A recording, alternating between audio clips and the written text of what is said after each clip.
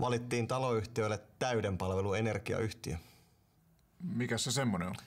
No kato, se hoitaa paitsi meidän energiaremontin suunnittelun, niin myös sen toteutuksen.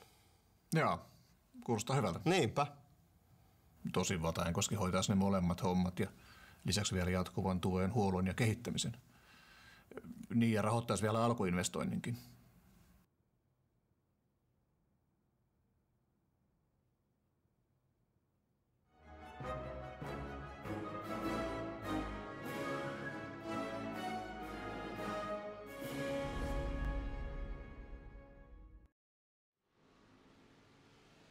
Oikein hyvää maanantai-iltaa, palleroiset, laulavaiset ja tervetuloa Äijä-sarjan kauden toisen osakilpailun pariin. Kuten kuvista näkyy, me ollaan Road American radalla Elkhart Lakein liepeillä Wisconsinin osavaltiossa Yhdysvalloissa.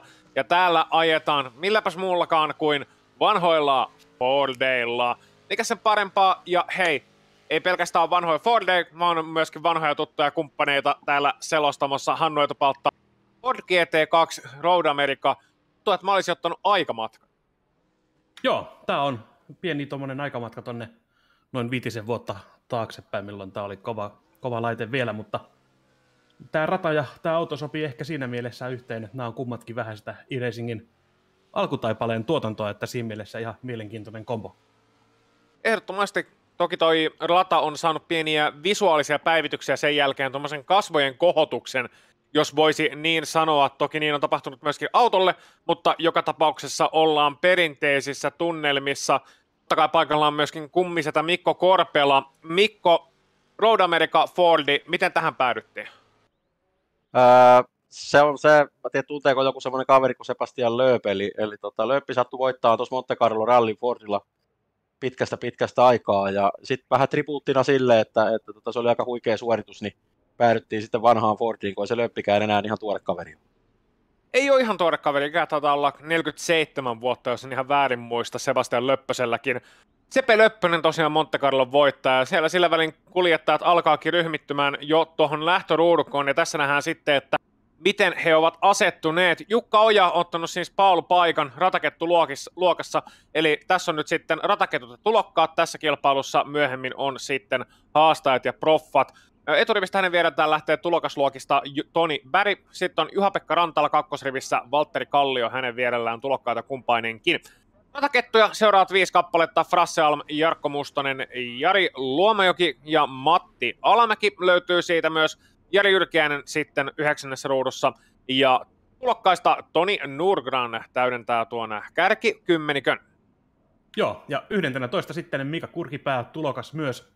Joonas Rintamäki tulokkaana, Tomi Tuominen myöskin ruudussa 13, Olli Jalonen sitten ratakettuna ruudussa 14, ja sitten taas pari kappaletta tulokkaita siinä 15 ja 16, Tommi Marttila sekä Sami Sivonen. Ja sitten taas ratakettua löytyy sieltä 17 ruudusta Marko Jokinen, 18 Juho Huttunen, 19 Jarkko Laurila ja 20 Jarmo Viljakainen.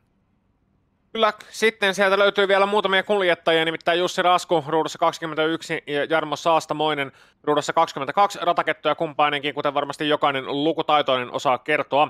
Mika Piironen 23, Juha Rantanen 24, sitten meillä on Sami Munk, Mika Lahti, Harli Vihavainen, Mika Juuti, Veijo Tolonen ja Antti Tainio ruudussa 30. Ja kuljettajien löytyy vielä tästäkin tämän jälkeen muutama kappale. Kyllä vain, sillä on 31. ruudussa Sami Lahti, 32. Janne Rantanen, 33. Mika Grönlund, 34. Klaus Pohjonen, 35. Teemu Tammi, 36. Juha Virkki ja sitten viimeisessä ruudussa Roope Lehtinen ja Teemu Mattila.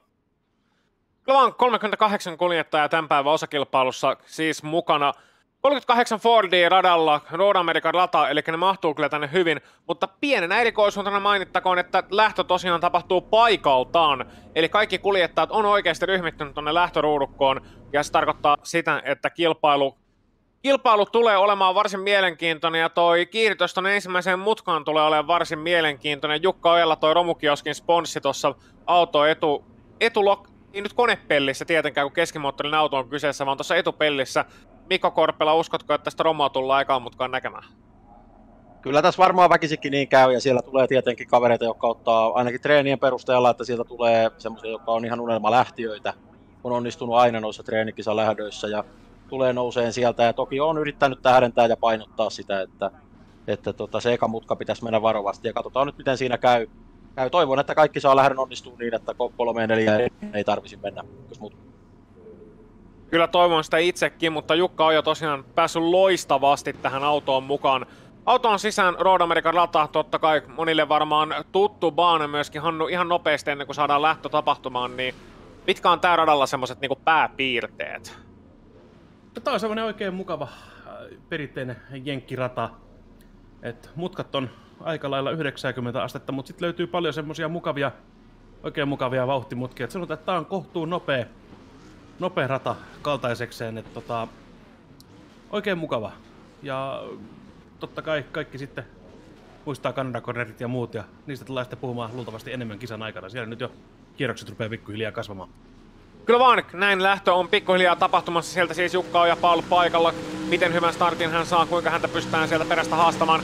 Ja mikä muu on ne asiat, mitä tulee tässä tapahtumaan, se selviää hetken kuluttua. Sieltä lähdetään liikkeelle. Hyvä startti ainakin Ojalta, mutta se kolmosruudusta lähdetään loistavasti liikkeelle haastamaan Jukka Ojaa tuohon ykkösmutkaan. Ja näin sitten pakka tiivistyy, kun sautaan ensimmäistä, ensimmäistä kurvaa kohti. Kaikki kiihdyttää siellä vielä valtoa mennä. Ottaako Oja sisälinjan kiinni, eipä ota takaa, tapahtuu pientä liikehdintää ja sieltä tullaan muuten heti rinnalle, heti rinnalle haastamaan, näin tullaan rinnakkain ekaan mutkaan läpi, melkein kolme rinnan, kakkosmutkan ohi tästä näin. Pieni taitos, sen jälkeen kolmas mutka tohon noin oikealle, tiukka jarlutus ja takasuoralle tästä näin, takasuoraa kohti saavutaan siis nyt ja sieltä sitten kova kiihdytys 4A, 4B ja sen jälkeen vitosmutka, tiukka 90 vasuri, sinne jarlutuksen on onnistuttava. Oja johtaa edelleen kilpailua, sai pidettyä ton kärkipaikan, vaikka alussa näyttikin hieman vaikealta. Sen jälkeen sieltä tullaan koko pakan läpi vitosmutka ja kutosmutka seuraavaksi sitten sieltä luvassa ylämäkeen kohti sillan alta ja sen jälkeen tiukka vasuri Oja, Alm, Rantala, Väri, Luomajoki. Siinä niin kärki viisikko, eli se oli Frasse Alm, joka otti hyvän startin ja myös Rantala tuli sieltä, sieltä kolme hyvin haastamaan. Ja näyttää siltä, että toistaiseksi ainakin ollaan selvitty ehjänä. Siellä seurataan Marko Jokisen menoa tällä hetkellä. Hän on siinä tiukoissa taisteluissa. Katsotaan, miten tästä selvitään. No selvitään ihan hyvin. Toisissa sarjoissa ollaan nähty tuossa mutta se pientä kolarointia, mutta nyt tultiin ehjänä läpi. Ja näin sitten Hurdownsiin pitkin alaspäin mutka, ysimutka ja mutka karusellissa on jo kärkikuljettajat. Hannu, hyvä startti. Joo, todella siisti. Todella siisti lähtö. Ja siellä oli, siellä oli tota lähdössä mielenkiintoisia tapahtumia. Siellä nimittäin yksi kaveri oli lähtenyt liikkeelle jo paljon ennen kuin valot sammu. Taisi Mika Piironen nimittäin lähtee liikkeelle siinä kohtaa, kun valot ensimmäisen kerran ilmestyi tonne. Et oli pikkusen turhan nopeat refleksit kaverilla ja sai tosin autonsa pysäytettyä, mutta ajautui tuohon keskelle rataa sitten odottelemaan sitä varsinaista lähtöä. Siinä kun var, sillä, sillä, niin, jos varastaa meinaa, niin sillä se kannattaa varastaa, että ottaa sitten reilusti, reilusti Joo. löysää. Kyllä. Ja siellä Tosi... oli pikkusen isompaa kekoa tuolla takana, nimittäin siellä saatiin Canada Cornerin ihan, ihan kunnon kasa. kasa. Et jos sais pyytää ohjaajalta vaikkapa replayn siitä tilanteesta. Joo, eiköhän sellainen osa... selvittiin ensimmäinen kierros. Niin, eikä semmoinen saada kohtapuoliin tulemaan. Taas unohtuu se, että meitä on kolme täällä näin, niin puheenvuoroja pitää antaa kavereillekin. Jukka Oja siinä on, Frasselm toisena edelleen. Oja vetää nyt pientä eroa tuonne taaksepäin, 70 päästä on päässyt syntymään, mutta näillä pitkillä suorilla pystyy loistavasti istumaan toisen peesissä ja ehkä sitä kautta sitten saamaan noita eroja kiinni. Rantala siinä siis kolmantena aivan Almin perässä. Päri Luomajoki Alamäki tuossa myöskin hyvin mukana, samoin on Kallio, eli mitään suurempia eroja tässä ekalla kierroksella ei ole päässyt Hannu syntymään, mutta kyllä on pakko sanoa, että Ojan veto sen pari ekan mutkan jälkeen, se on ollut hyvä. Hän koittaa tässä nyt päästä karkuun, mutta aika paljon on kiinni Almista ja Rantalasta ja siitä, että ruvetaanko siinä taistelemaan heti alusta asti. Meillä ei kuitenkaan mikään turhan pitkä kilpailu ole kyseessä, vai onko kavereilla sen verran maltti, että pystyy tässä vielä venttaille kattelemaan, että josko semmoisella hyvällä yhteistyöllä pystyisi saamaan tuon Ojan karkumatkan vielä kiinni. Niin, tällä hetkellä vahvasti näyttää siltä, että Rantala haastaa enemmänkin tuossa Almia kuin Almi Ojaa. Että tästä muutaman kierroksen sisällä nähdään kyllä tilanne sitten siitä, että... Joo, ja tässä on sama aika... Ja nyt meillä on repla tosta. Kyllä, eli Jussi Nasko oli siellä keskiössä, siellä on neljä autoa nyt kasassa sitten tuossa Kanada Cornerin ulkopuolella nimenomaan, eli pieni kontakti jarlutuksessa, sieltä ajo, ajo Rasku hieman perään ja kautta sitten siitä kolme muuta kaveriikin lähtee pihan puolelle, eli on niin, että Jari Jyrkiäinen oli ainakin siinä mukana ja Rasku, ja jos en ihan väärin katso, niin Nurgranikin taisi olla tuossa kasassa mukana.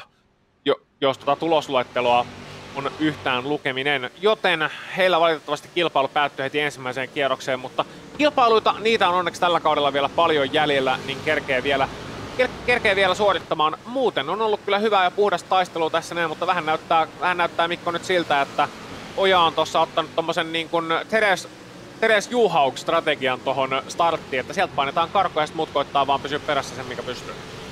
No tässä tietenkin vähän tilanne on se, että puhutaan sarjajohtajasta, niin kuin Frasse on tuolla treeneissä tähdentänyt, vaan on kehuttu joka hyvästä vauhdista. Ja kyllä siinä ihan tavallaan tuttu tuolta treeneistä, tuttu porukka menee kärjessä ja kiva nyt kuitenkin nähdä, että siinä tulokas, tulokasporukasta, että siinä on Valtteri on siinä ja, ja tuota, Peri on siinä ja Rantala, Rantala ja Kurkkipää pyörii. Et mä uskoisin, että, että kyllä tulokkailla vauhtikauden mittaan nousee ja rataketju saa pitää tosissaan ratista kiinni päästäkseen heitä karkuun. Että samalla Ui. tavalla kävi viime vuonna.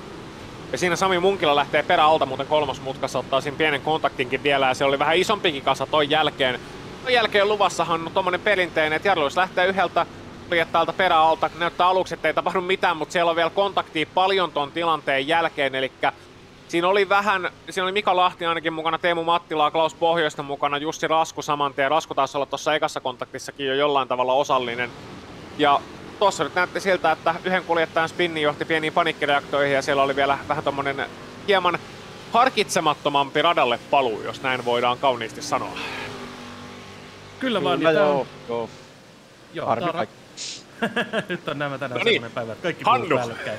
joo, okei, okay. mä, mä voin yrittää sanoa tämän asian. Eli, joo, tämähän on ratana vähän semmonen, että tämä on aika kapea loppu viimein, kun tämä on sen verran vanha paikka, vanha paikka, että ei ihan vastaa sellaista modernia 15 auton levystä, levystä moottoritietä, vaan tämä on noin kolmen Fordin levyinen tämä rata, leveimmillään kai neljännet. Et toi pieni sumppu jos tulee, niin siihen on tosi helppo sitten muiden paukauttaa sekaan, että sen kiertäminen ei välttämättä ole helppoa, jos se on ajolinja poikittain, kun ulkona ei ole semmoisia massiivisia asfaltoituja ulosajoalueita, vaan ihan kunnolla nurtsia tai hiekkaa ja niin edelleen, niin se väistäminen täällä on ehkä pikkusen haastavampaa, mitä modernimmilla radoilla. Siinä on alamäeltä muuten raju ohitusyritys vitosmutkaan lähtee sieltä vähän turhaakin myöhään savujarluilla, mutta onnistuu yhden sijoituksen ottamaan. Siinä kuitenkin palattiin taas kolmenlinnan tilanteeseen. Rantala Mustonen Alamäki siinä on ollut ja Alamäki näyttäisi vähän siltä, että no on ottanut kyllä siitä itse asiassa ton seiskasian takaisin haltuunsa, mutta siinä saa ilmeisestikin Kalliolta sitten vähän äh, tuommoista noottia valojen välkytyksen muodossa, että ihan noin syvään ei kannata sinne jarrulle tulla.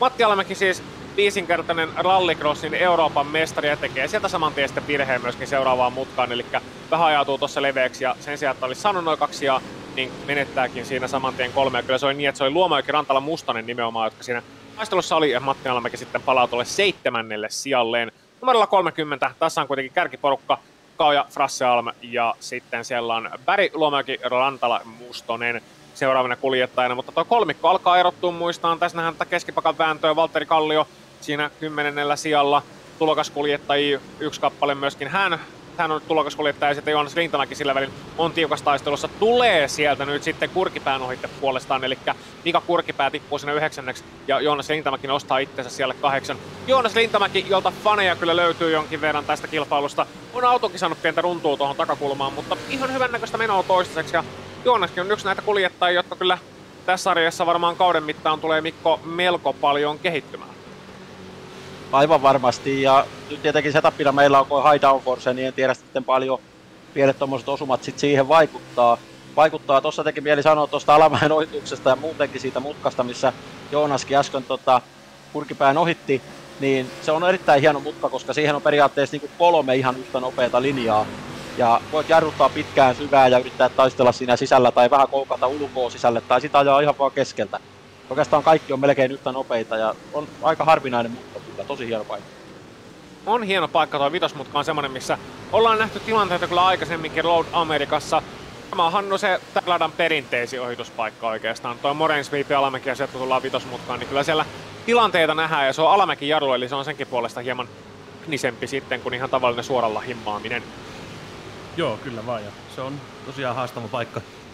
Haastava paikka ja tota, mitä raskaammalla autolla tällä ajaa, niin sitä haastavampi paikka se on, kun täytyy tavallaan sokkona ja lähteä jarruttaa.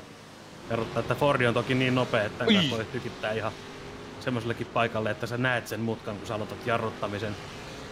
jarruttamisen mutta tota, on todella, todella mielenkiintoinen ja se on semmoinen, että siellä on tapahtumia. Lähestulkoon kalusto kuin kalusto, niin se on aina semmoinen mutka, missä tapahtuu asioita. Joko positiivisia tai negatiivisia. Joo, ja Olli Jalonen on siinä nyt sitten tehnyt negatiivisia asioita tuohon Kanada Corneriin. Katsotaan tuosta uusintaa tilanteesta Mikko ilmeisestikin äh, saanut hieman apua, vai onko mennyt ihan yksi? Näyttää, että on mennyt ihan yksi. Taitaa takasiipi puuttuu autosta, joo, niin voi olla hiukan kinkkinen jarruttaa, että ainakin on nopeisiin jarruutin, niin varmaan, en tiedä tietää Kolli itse, että siipi puuttuu, mutta voisiko joku kaveri ehkä diskossa vinkata, että sulle on siipeä, niin voisi jarruttaa vähän aiemmin. Niin, se on aina toi takaisin puuttuminen saattaa kyllä vaikuttaa hieman auton tuohon ajokokemukseen. Matti Alamäki sillä välin siellä Rantalan kanssa väännössä. Alamäki tulee sieltä ulkopuolelta nyt ja onnistuu ohituksen saamaan aikaan, eli sieltä hienosti putos seiskamutkien läpi ja näin Alamäki pitää paikkansa. Onnistuuko sen pitää vielä tuon tiukan kasin jälkeen? Kyllä onnistuu, eli nyt sitten Alamäki on päässyt tosta ainakin yhden kaverin ohittaja ja lähtee sen jälkeen ajamaan takaa Mustosta.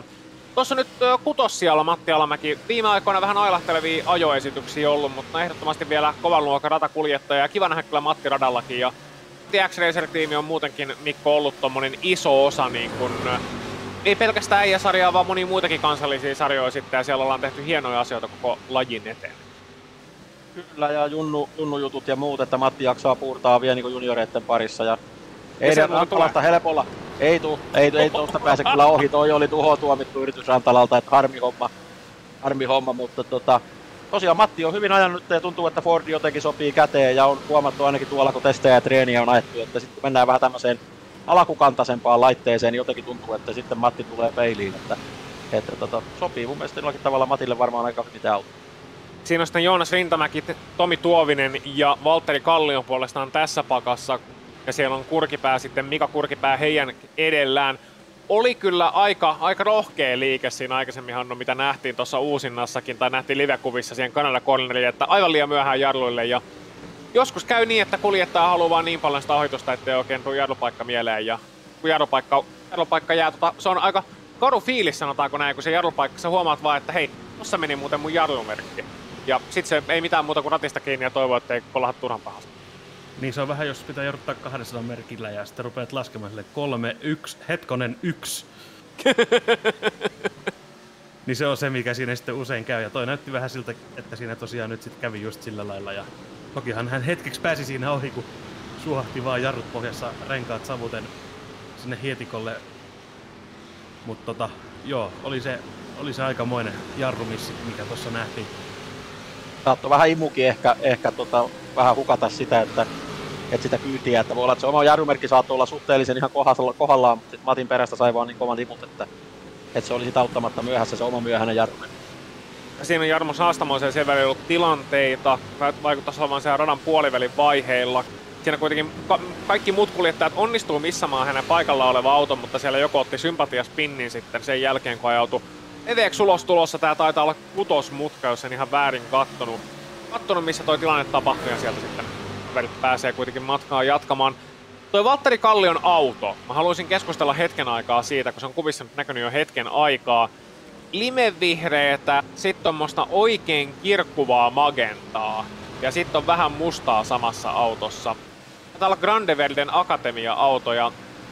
Hannu, mielipiteitä, koska mulle tulee tuosta kisajulisteet mieleen. Nimenomaan allekirjoittaneen tekemät kisajulisteet. Ei semmoista välttämättä niin kuin mitään esteettistä taiteilua, vaan enemmänkin sitten semmoinen, joka varmasti erottuu ja näkyy. Tuo on niinku semmoinen, mistä voisi sanoa, että 90-luvulla olisi ollut kovasti muotia ja se olisi luultavasti ollut semmoisia saatesanoja kuin Radical ja Cool ja tällaisia. Mutta tota, Extreme! Itse tykkään tuommoisesta värimaailmasta. Kyllä kilpauton kuuluu olla semmoinen rääky, rääkyvän värinen, sen pitää erottua joukosta, sen pitää huutaa sitä olemassaoloaan. Niin arvostan. Kilpa-autolun kuuluu olla huomion kipeä, sanoisikohan? Kyllä. Ja eikö ne nyt vähän oo? On. Siellä on muuten joku sitä vetänyt vähän leveäksi tuossa kolmosmutkassa ja tulee sieltä takas radalle. Katas, ketä siinä, ketä siinä oli, oliko kierroksella ohitettava kuljettaja sitten, joka veti tuossa sinisellä autolla leviäksi. Roope Lehtinen kyllä vaan kaksi kiekkaa perässä, eli siellä on ollut sitten aikaisemminkin on vaikeuksia tulokaskuljettajia hän ja sitten Kalamaksella on oppirahoja, sillä välillä Joonas Rintamäki on tosiaan nyt sitten nostanut itsensä siellä seitsemän siihen Toivisen ja Kurkipään edelleen. Eli Rintamäki ajaa kyllä hyvää kilpailua ehdottomasti. Puhuttiin hänestä hieman aikaisemmin aikaa jo ei ehkä huutanut vielä, ja samaan Veijo Tolonen sitten rataketoista on löytänyt seinän. Ja tämä vaikuttaisi myös hyvin vahvasti kolmosmutkasta ja kolmosmutkalta ja siinä näki myöskin sitten jäljistä, että mitä olisi mahdollisesti tapahtunut. Auto mennyt aika lailla tangentin suuntaan ja siellä on betoniseinä ollut sitten oottamassa ja Mikko, noin betoniseinät, niissä on vähän se ongelma, että ne ei hirveästi armoa anna.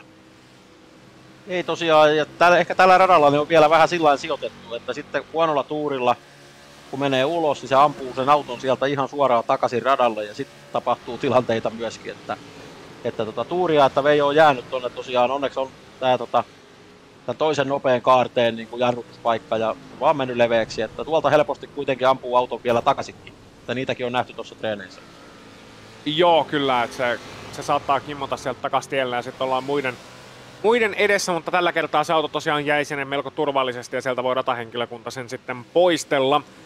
Ajan kanssa tässä näin nähdään Harley Vihavainen siellä 23 ja siinä on sitten taistelu käynnissä. Ajetaan nimittäin kovastikin Grönlundia takaa. Grönlund siinä 22. tuolla kirkuvan pinkillä autolla taas kerran, että nämä on näitä huomion kipeitä värityksiä, jos en saa sanoa, mutta varsin simppeli pinkki kuitenkin. Ja ei siinä mitään pinkkikilpa-auto on mun mielestä aina ihan siistin näköinen, niitä ei ole tarpeeksi oikein nähty. Siinä niin hyvää taistelua täällä keskipakassa. Ja nyt kun puhutaan Mikko tästä ensimmäisen luokan kilpailusta, niin täällä on tosiaan rataketut ja tulokkaat. Eli kuljettajia, jotka No rataketut on semmonen nimi, joka voisi olettaa, että se on se niin kuin ennakkoon kaikkien kovin luokka, mutta niin ei välttämättä ole. Se kriteerihän taitaa olla niin, että ikää pitää olla tietyn verran ja Sami Sivonen sieltä tulokkaista vetää pienen ja se lähtee myöskin takasiipistä edelaivalta kuljettajalta ton kontaktin seurauksena sieltä ottaa pienen osuman. Sieltä pyörähdetään uudestaan. Älkää nyt pistäkö kasaa pystyyn sinne ennen pää suoraan. Olli Jalonen onneksi saa vedettyä nätin 360 ja pääsee sieltä myöskin sitten suoraan varikolle tosta noin, että sinänsä onni onnettomuudessa Mikko kyllä ton puolesta.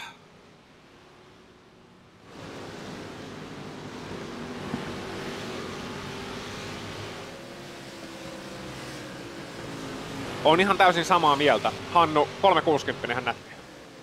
Kyllä vaan. Se piristää aina mieltä, kun mennään, mennään vähän kunnolla ympäri ja, ja matka jatkuu sitten siitä vielä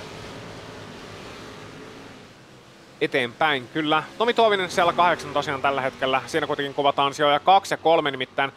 Hetken aikaa näytti siltä, että Frasse Almi olisi saamassa Jukka Ojaa kiinni, mutta niin ei ole tapahtunut. Sen sijaan näyttää siltä, että Frasse on ehkä vähän rehannut noita renkaita liikaa. Ja siellä on nyt sitten Henri Bäri vai Joni Bäri, jonka tapauksessa Bäri siellä kuitenkin on siinä hänen perässään puolen sekunnin päässä. Ja nyt päästään huutelemaan samaan kuin päästiin huutelemaan jääkiekko katsomoissa 2000-luvun puolivälissä, että päri päri siellä on taas, mutta nyt koittaa tehdä hyviä duuneja vaihteeksi. Ja ei ole kuitenkaan Aki Petteri ihan tämä. Sieltä niin tullaan puolen sekunnin päässä. Hyvät on imuavut tässä kohtaa. Toni Berg tosiaan kyseessä ja siinä päästään seuraamaan Frasse Almin menohannu.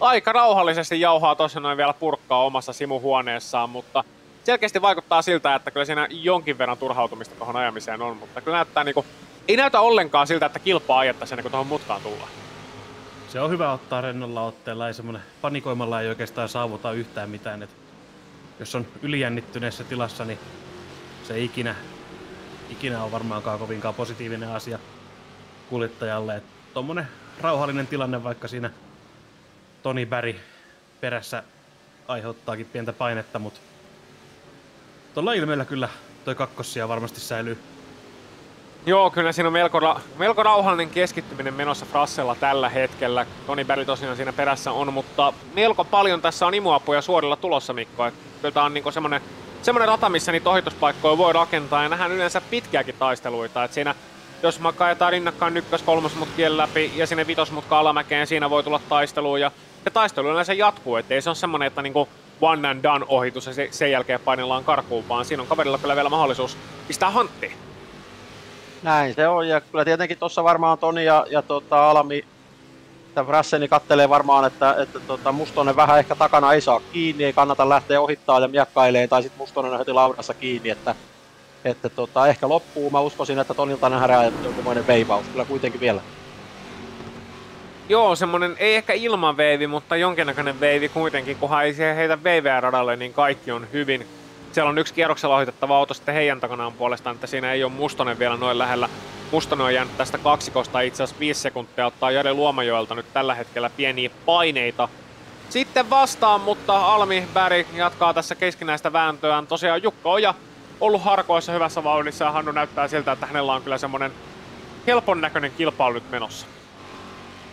Joo, aja, on ajanut tonne horisonttiin ja ei ole siinä juurikaan vaivannut päätä edes sillä, että mitä takana tapahtuu. Ja ihan hyvä tahti ja kolme sekkaa karussa tässä vaiheessa, niin käytännössä omaan mokaan pitää sitten mennä tää kisa, jos tän aikoo hävitä. Katoin hetken, että ei ole oja-auto kuitenkaan siinä ympäri, mutta ei ollut Harlin vihavainen vetänyt spinnit sitten tuohon kasimutkan ulostuloon ja sieltä sitten pääsee karuselliin jatkamaan toki vähän ylikuumentuneilla nakeroisilla. Tässä on siellä välillä Juho, Juho Huttunen kuvissa, jolla myöskin on varsin kirkuvan välinen auto ja myöskin kirkuvan väliset haalarit, tuommoinen tummansininen ja pinkki tässä näin. Nähdään myöskin miehen ajokabiiniin sitten. Nämä kuskikamerat on yksi sellainen asia, mistä mä oon kyllä tykännyt. Ne alkanut viime aikoina vähän lisääntymään ja on vähän parempi laatuisia, jotkut vähän huonompi laatuisia, mutta kyllä se on aina ilo nähdä Mikko, että päästään niin tuohon kuljettaan kabiiniin niin sanotusti ja seuraamaan, että miltä ne kuskit näyttää, millaisia kavereita siellä on oikein ajamassa, millaista ympäristöä siellä on. Ja sitten ilmeet. Tästä nyt ei ilmeet kunnolla näe, mutta ilmeet on niin kuin kaiken suola. Kyllä joo, on, on ilman muuta. Ja jotenkin se, että näistä kuskikämeistä mun mielestä ainakin erottuu se, että kuvitellaan, että, että niin kuin yleisön puolellakin, että kun täysiä, niin siinä tulee hirveä hiki ja kädet ja jalat sotkee polkimia, miten sotkee ja ja oi, oi, oi, oi, oi, oi, ai, ai, ai, ai, oli lähellä. Oli liki, toi oli liki. Mutta tosiaan just se, että, että se rauhallisuus, että se yllättää varmaan kyllä monet, monet toi tosiaan, että toi on niinku rauhallista ratin kääntöä, tuommoista pehmeitä ajamista ja muuta. Ja silti vauhti on kova, että kuitenkin keskipakassa kisa ajetaan. Niin, niin tota, mun mielestä jotenkin hieno nähdä näitä.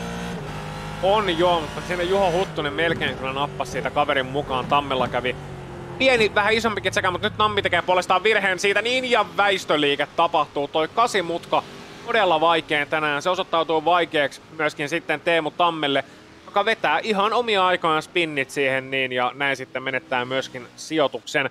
Melko paljon draamaa. Saathan no täällä jonkin verran erilaisia kilpa-autoja ajanutkin samalla kun seurataan kärkikuljettaja Jukka Ojaa. 7 mutka, siinä on tämmönen nopea oikea eka 7 mutka ja sitten toi 8 mutka tämmönen tiukka alamäki vasuri se näyttää kartalla helpolta paikalta, mutta se ei sitä ihan niin kuin kuitenkaan vaikuttaisi olevan. Joo, ei. Se ei ole mitenkään helppo paikka todellakaan. Haastava. haastava. Riippuu toki autosta se haastavuus, mutta yleisesti sanottuna haastava paikka.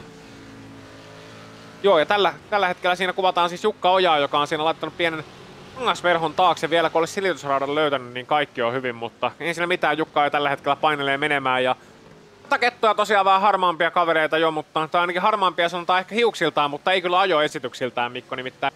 Jukka on yksi niistä kavereista, joka aina räiskyy ja nousee esille. Nyt onnistunut nostamaan tasoaan silleen, että päässyt tonne ihan kärjen tuntumaan. Ehkä viime vuosina on ollut myös pieniä vaikeuksia Jukalla sitten, kun on tuolla keskipakassa ollut, niin moni kilpailu valonnut hiekkaan sen takia, että siellä on ehkä tullut vähän liikaakin otettua yritystä mukaan, mutta nyt kun päässyt tonne tärkeä ajamaan, löytänyt vähän lisää vauhtia ja saanut aikaa kondikseen, niin nyt alkaa niinku näkyy siinä se ajamisen tarkkuus ja se ajamisen vahvuus ja se ehkä tietynlainen ajamisen tuuheuskin. Pikkasen sitä semmoista yliyrittämistä pois ja ajamisen varmuus ja sitä kautta ne virheet, virheet jää pois ja, ja ajamista tulee paljon varmempaa ja yleensä silloin tulee myös tulosta, kun pystyy treenaamaan täyspainoisesti, kun ei tarvitse jatkuvasti pyöriä tuon nurkikolla, että, että sitten se nopea näkyy se treenaamisen määräkin. Siinä on siellä välin Tomi Tuovinen Marttilan perässä nyt kiinni. Tuovinen teki sen aikaisemmin pienen virheen. Marttila koittaa siitä edestä päästä poiskantaa, miten onnistuu. Miten onnistuu karkuun pääsemään? Kyllä Tuovisella on nyt nälkä ehdottomasti. Ja taitaa olla niin, että Tuovinen on nimenomaan tuossa Kyllä oli, oli siinä vielä edellä tuossa tilanteessa, katoin hieman välillä noin kuljettajat, mutta ei se mitään näitä sattuu. Tuominen siinä vähän hitaasti tullut siis vitosmutkaa kohti. Katsotaan, mitä siinä nyt tarkalleen on tapahtunut. Koittanut ottaa sijoituksen uudestaan haltuunsa siitä niin ilmeisesti Mika Kurkipäältä ja siinä sitten ajautunut vitosmutka ihan puolella leveäksi, mutta tossa oli se tuuri mukana Hannu. Tavallaan en tiedä taito, tuuri, arviointi mukana, että siinä oli melkoinen matka tuohon seuraavaan seinään, eli siinä ei ollut seinää niin kuin ihan radan vieressä ja sen takia Tovinen tuosta vaurioilta ainakin säästö, mutta hän ottaa nyt Laurilalta kovaa haastetta, joka tuossa siis on kellertävällä autolla perässä. Joo, ja sitten pitää muistaa se, että tuommoisessa tilanteessa aina kun siinä on muita mukana, niin hyvin sujahti siitä välistä ja Oi! onnistui tosiaan sitten välttämään sen, ettei tullut muita uhreja ja oli itse ainoa kärsijä tuossa tilanteessa. Kuten taas. Että, tota, joo, nyt, nyt on selkeästi käynyt semmoinen tilanne, että renkaat on likaiset ja kuumat, niin ne on ylikuumentunut noissa jarrutuksissa ja varmaan vähän ajettu liian kovaa muutenkin, niin lopputulema on sitten se, että pito niistä ei paljon enää saa irti ja se auto on todella liukas. Ja se näyttäisi nyt sitten kostautuva.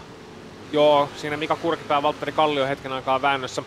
Kurkipää ottaa tuon sijoituksen pois, nousee nyt sitten tällä hetkellä kahdeksanneksi, Valtteri Kallio siinä yhdeksäntenä. Mika Kurkipää näistä tulokaskuljettajista myöskin ajaa ihan hyvin. Tiedätkö muuten Mikko, onko Roope Kurkipäälle minkäännäköistä sukua? Taitaa olla isä, että sen verran taitaa olla niinku syypää Roope joo, että, että tota, Aha, ihan joo. hyvin ajaa, että, että Mika on itsekin ajanut, ajanut tota, kilpaa aikanaan vähän kaikenlaisilla jenkkipeleillä oikeallakin, oikeallakin radoilla ja nyt on sitten keskittynyt pojan karttingin hommiin ja sitten muihin legendsiin ja muuhun. Joo, Roope Kurkipää siis nuori kuljettaja, joka on aika hyvin noussut esille erilaisissa sarjoissa viime vuosina ja Mika on katsonut sitä pojan touhuja ja todennut, että hän haluaa itsekin siellä tupla spinni. Kaksi samanväristä vihreät autoa vetää ympäri viimeisen mutkaa samaan aikaan. Mika Piironen ja nyt en nähnyt kuka oli toinen kuljettaja, joka siitä veti myöskin ympäri, mutta olipahan Olipahan liikkeet. Jukka Oja tässä kuitenkin sitten tulee todennäköisesti puhtaaseen viimeiseen mutkaan. Oisko kuitenkin toisiksi viimeistä kertaa tällä hetkellä, että vielä ei olla valkoista lippua saatu, nimittäin 20 sekuntia kellossa on. Näin sitten Jukkaan vauhti on ehkä, en tiedä onko yllättänyt miehen itsensäkin. Itsensäkin sieltä tullaan joka tapauksessa viimaa kohti ja nyt olisi Jukalla aikaa ootella, mutta taitaa olla niin, että mennään, mennään kuitenkin vielä yksi kierros tässä kilpailussa. Ja näin Jukka Oja sieltä niin saapuu valkoiselle lipulle kyllä vaan, se hänelle heilahtaa. Heilahtaako muille muuten? Ei kyllä se on valkoinen lippu, mikä kaverille sitten heilahtaa sieltä niin, että pääsevät vielä periaatteessa Jukkaa haastamaan. Sieltä niin viimeisen kerran ykkösmutka läpi, tullaan tuohon kakkosmutkaan, mikä on mutka alaspäin eikä niinkään sivulle. Sitten kolmos mutka tästä. Jukka Oja tehnyt hyvän esityksen, hienon esityksen. Ei voida oikeastaan liikaa kehu, Hannu. San- Sanottiin jo tuossa aikaisemmin, puhdas kilpailu, ei mitään suurempia virheitä se, mitä hän selvitti noin alun haasteet, niin se oli mun mielestä kaikkein vakuuttavin. Et ei, ei hätkähtänyt siitä liikaa, että kaverit sieltä takaa tuli vähän rinnalle ja pisti sitä haastetta peliin, vaan korjasi sen paikan, klaarasi sen paikan ja sen jälkeen pääsi sitten tekemään sitä omaa ajoa. Joo, ja se oma ajo on ollut ihan, ihan hyvää taso- tasoa. Että tota, 4,2 sekuntia toistaiseksi karannut kaverilta ja tällä hetkellä näyttäisi siltä, että tämä viimeinen kierros on mentykin vähän varmistelle ja puoli sekkaa jo takaa otettu kiinni. Mikäs tässä varmistella, kun, varmistella, kun sitä varaa on niin paljon tossa, että, tossa, että tota, ei tavallaan pysty enää ehjästi ajamalla häviämään tätä kilpailua. Ja se on muuten mielenkiintoinen pointti chatista. Kiitos tästä tiedosta. Eli Mika on Roope Kurkipään isä ja Juha Virkki on Jeremi Östringin isä. Ja molemmat ajaa JR Racingillä, eli Jeremi Roope Racing. Siitä tulee JR Racing, joka muun muassa tuolta Ars Simuku seriesistä on sitten tuttu tiimi ja tehnyt ihan hyviä esityksiä tällä kaudella. Ja tommosia tapauksia on muutamakin tullut sitten vastaan viime aikoina. Et siellä on pistetty tiimeen pystyyn nuorinkin kuljettajien kesken ja sitten perheen vanhemmat on todennut, että hei, toi näyttää siistiltä touhulta, miksi mäkin lähtisi ajamaan.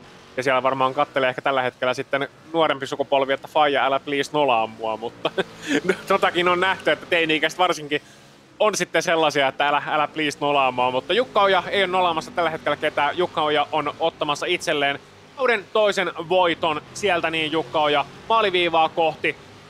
Vetää pienet mutkittelut tosta no ja kattokaa ilmettä, ei värähdäkään. Ruutulippu otetaan sieltä. Nyt löytyy vähän hymyä. Ja sen tää täysin Jukka Jalosena siinä ole ja näin. Jukka Oja kauden toisen osakilpailun voittoon osoittaa aitavansa myöskin siniset ovaalit ottaa tämän Fordi-kilpailun nimiinsä Road American radalla. Frasse Almi on toinen ja Toni Berg sitten puolestaan viivan ylittää kolmantena. Hieno kilpailu näille kuljettajille ja hieno ajamisen näytös myöskin. Nyt tulee tuuletus! Saatiin tuuletus! Ota mä Mikko odotinkin.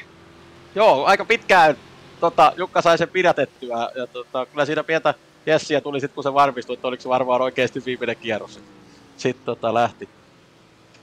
Oli muuten ponnari. Mä en edes koskaan tajunnut, että Jukka Ojalla on ponnari, mutta nyt mä näen, että siellä on oikeasti ponnari päässä eikä vaan lyhyet hiukset. Niin tota, ihan tyylikkäästi sieltä myöskin vauhtia haettu ehkä tolta puolelta.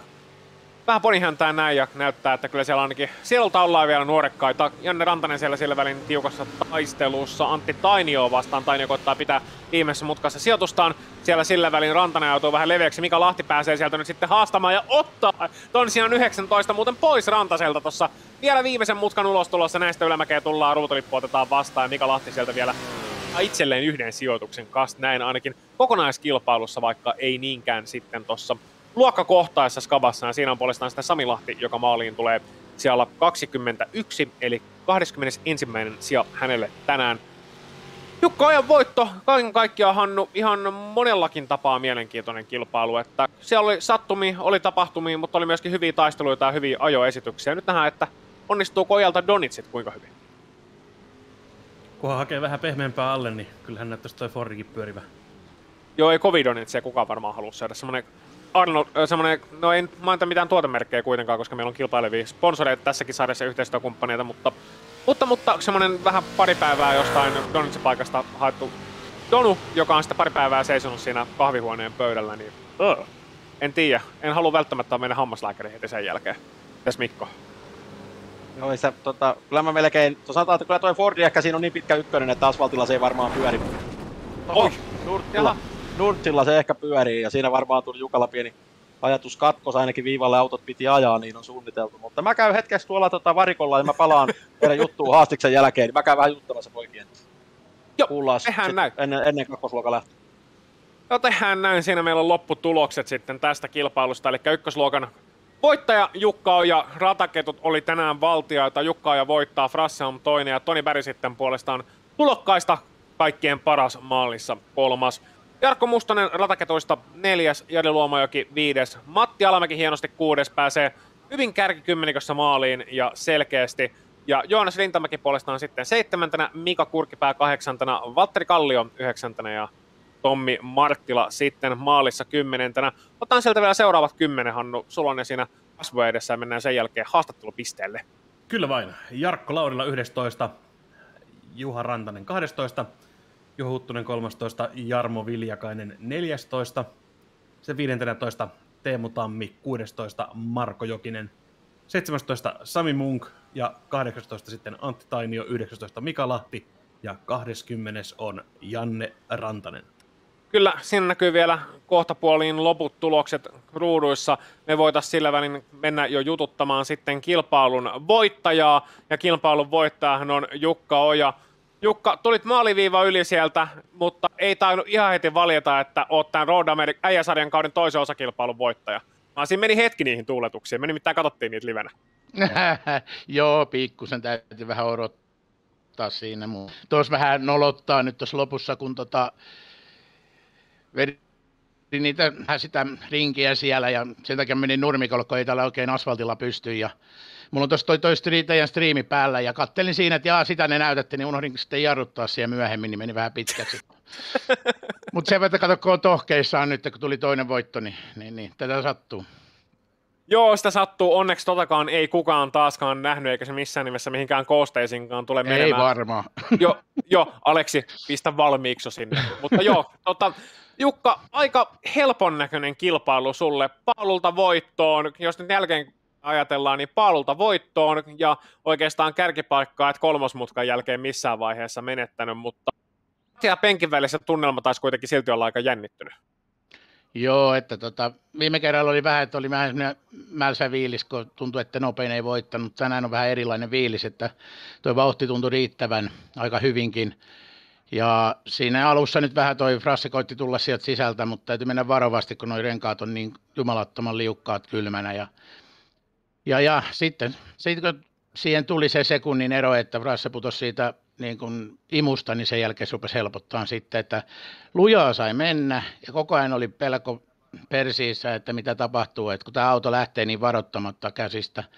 Että kyllä tässä tosissaan, että hiki tässä tuli ja, ja, ja tosissaan sai vääntää, mutta tota, ehkä se pahimman riskin välttäminen onnistui, että ei tämä nyt ihan viimeisiä vetää, että nyt niin kuin nopein kierrosaikakin on 034, joka on ihan hyvä, mutta olisi siinä ollut vähän vielä kiristettävää, mutta sitten olisi ollut riski, että lähtee autohändystä, niin oli hyvä, että pääsi tällä. Ja, ja...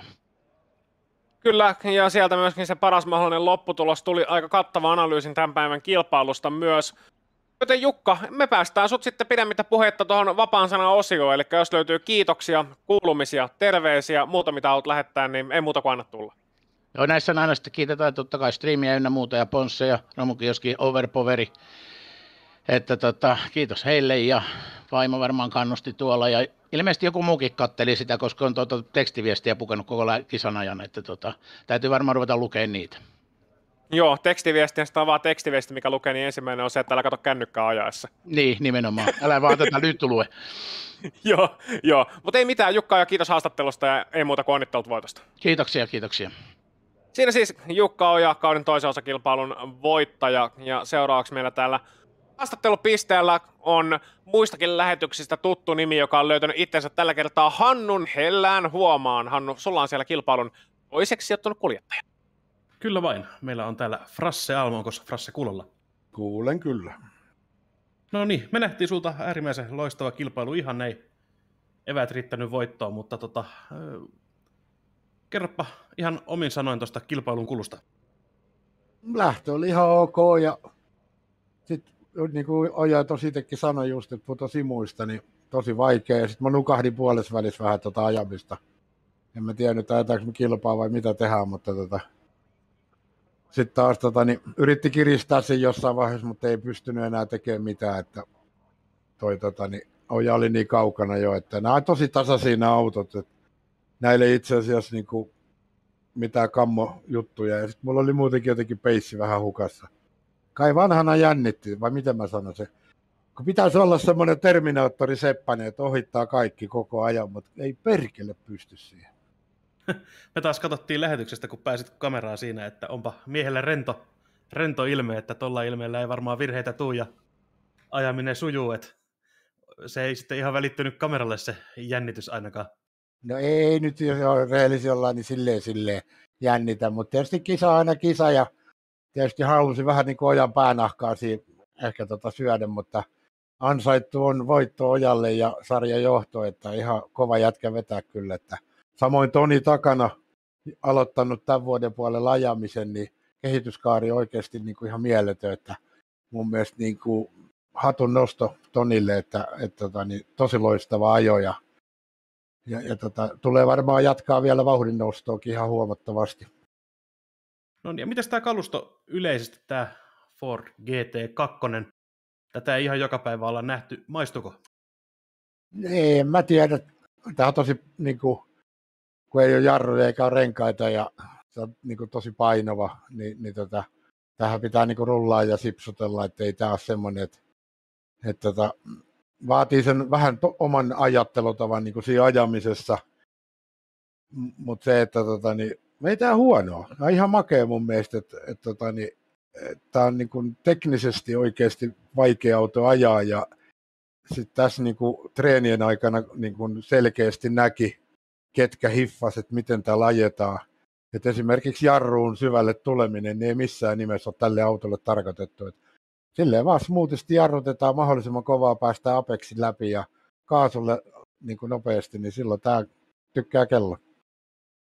Kyllä vain, kyllä vain. Ja tota, annetaan sulle tähän vielä vapaan sanan osio loppuun. Ei, kyllähän te olette ihan loistavia jätkiä. Te, se on hyvää duunia, mitä te teette, ja samoin Korpelakin tekee ihan loistavaa duunia. Ja, et, tota, niin, iso kiitos teille, ja, ja, ja se, että tota, niin, jatketaan samaa mallia vaan, niin hyvä tulee. Joo, kiitokset haastattelusta Frassille ja onnittelut vielä toisesta sijasta. Me siirretään mikrofoni takas Ossianille. Kiitos. Joo, siinä Frasse Almi tosiaan lähettää terveisensä ja lähettää myöskin ystävälliset terveiset sitten tänne päin ja Mikon, Mikon suuntaan. Nyt on tullut aika kuitenkin siihen, että me käydään pikkasen tuolla breakin puolella, käydään vähän tutustumassa meidän rakkaisiin yhteistyökumppaneihin ja sen jälkeen palataan, kun luokka 2 on vuorossa. Siellä ottaa proffat mittaa haastajista, haastajat mittaa proffista. Sama rata, samat autot, ei mitään muuta kuin hanaa. Nyt on aika kuitenkin kiittää hetkeksi aikaa. Me palataan ihan kohta asian, asian taas. Ja asiahan on kilpa-autoilu, äijäsarja. Valittiin taloyhtiöille täyden palvelu energiayhtiö.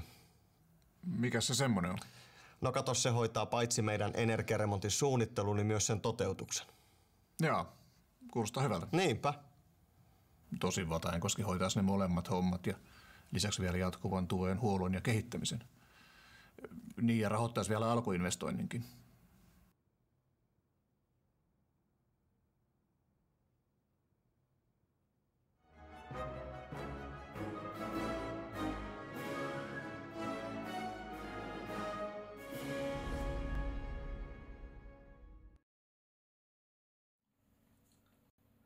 Antti Anttila.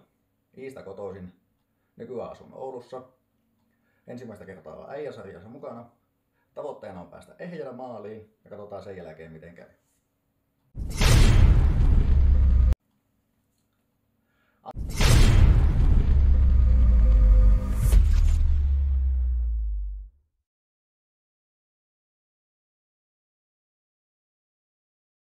Se oli vähän sekavaa aikaa. Ajateltiin siinä porukalla vähän ajalla rallia. Pikkuhiljaa siirryttiin astetta kovempiin laitteisiin, eikä pohjaa enää vieläkään.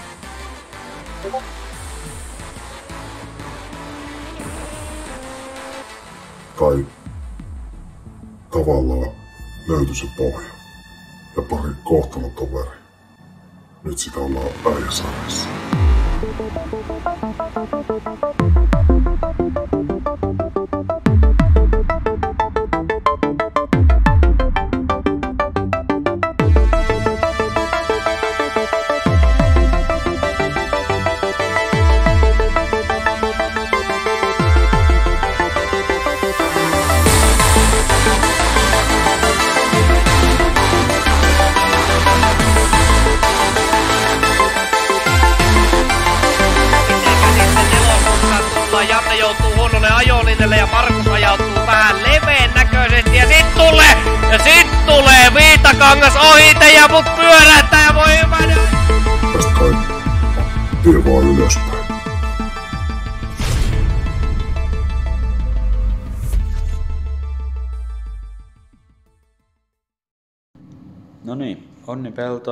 15 vuotta, viime vuoden äijäsarjan mestari. Ja tota, tällä vuodella kans mukana äijäsarjassa kakkosluokassa. Siellä mennään ja tota, ei sillä kauheasti, kauheasti tavoitteita oo, kunhan nyt pystyisi vähän kehittyyn, kehittyyn kuskina, kuskina ja sillä ja pitämään hauskaa. Valittiin taloyhtiöille täyden palvelu energiayhtiö. Mikä se semmonen on? No kato, se hoitaa paitsi meidän energiaremontin suunnittelun, niin myös sen toteutuksen. Joo, kuulostaa hyvältä. Niinpä. Tosi Vatajankoski hoitaisi ne molemmat hommat ja lisäksi vielä jatkuvan tuen, huollon ja kehittämisen. Niin ja rahoittaisi vielä alkuinvestoinninkin.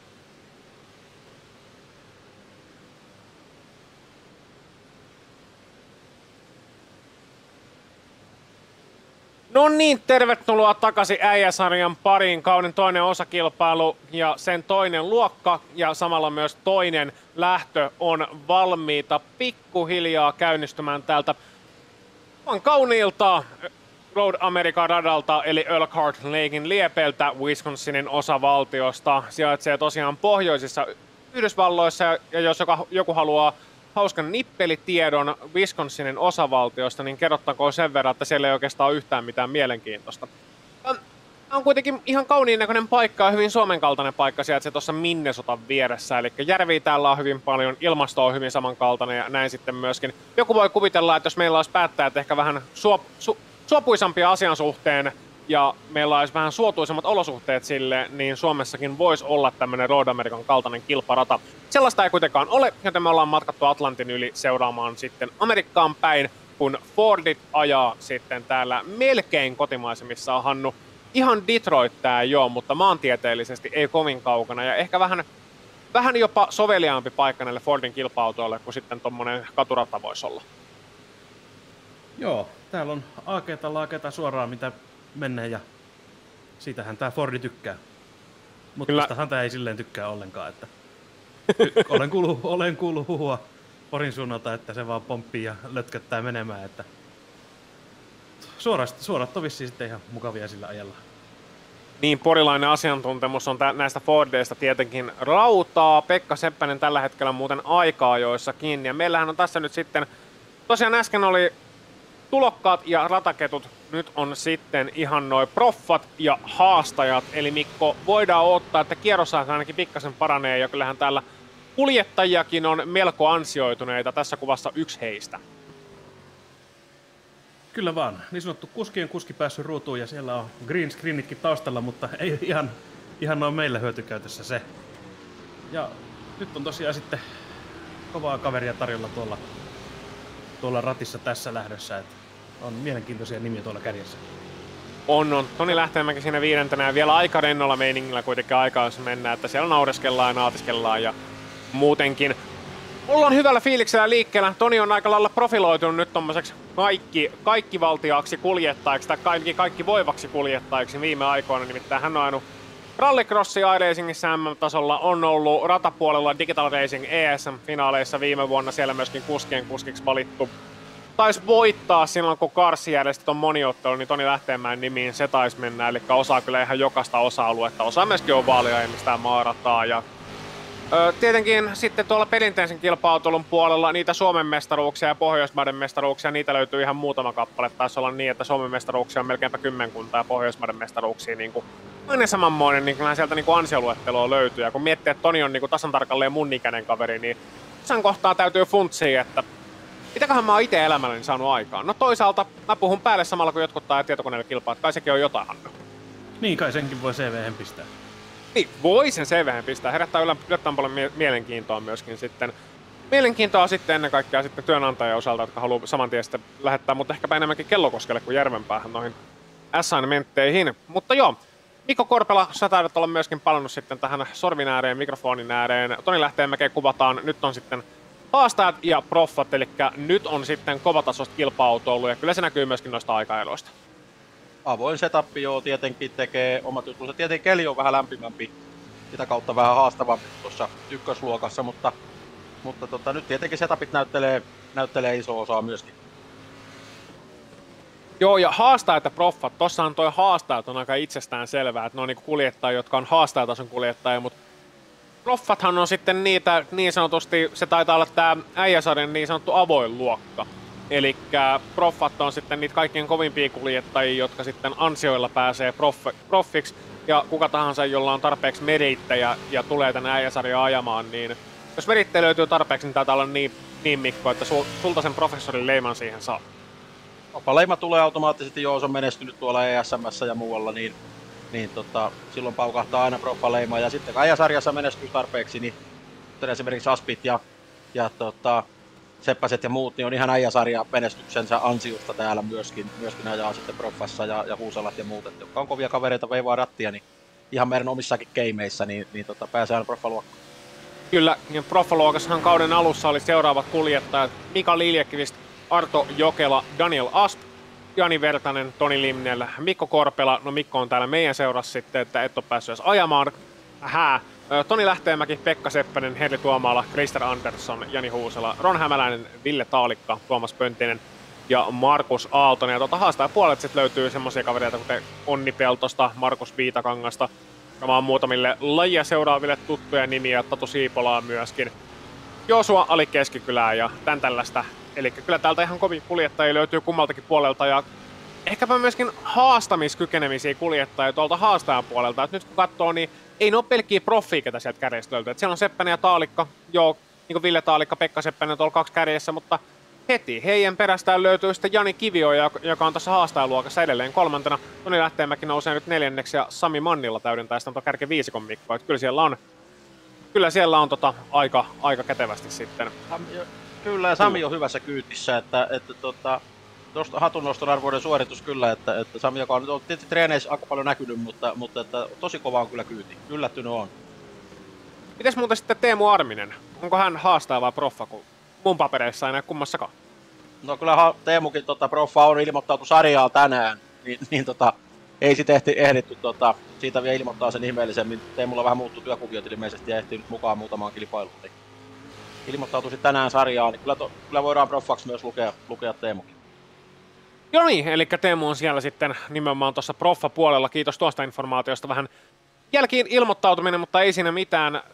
Aika paljon Hannu. Mä muistan, kun ensimmäisiä kilpailuja tehtiin, tehtiin tätä äijäsarjan kilpailuista ja muista. Ja silloin oli fiilis, että no ihan on hyvän suosion saanut, mutta en olisi silloin osannut kuvitella, että ajetaan kahta eri lähtöä, neljä eri luokkaa ja niin kun homma kehittyy tällaiseksi, että siellä on niin kun 30 plus autoa kummassakin luokassa ja on oikeasti niin kun ESM-finalista ja tämmöisiä mukana. Että kyllä tässä on niin kuin aika paljon kehitystä tapahtunut ja aika hieno sarja ollaan tänne Suomiskeneen saatu. Ja jotenkin Hannu tuntuu vähän siltä, että on jotain semmoista, mitä Suomen Sim on kaivannutkin.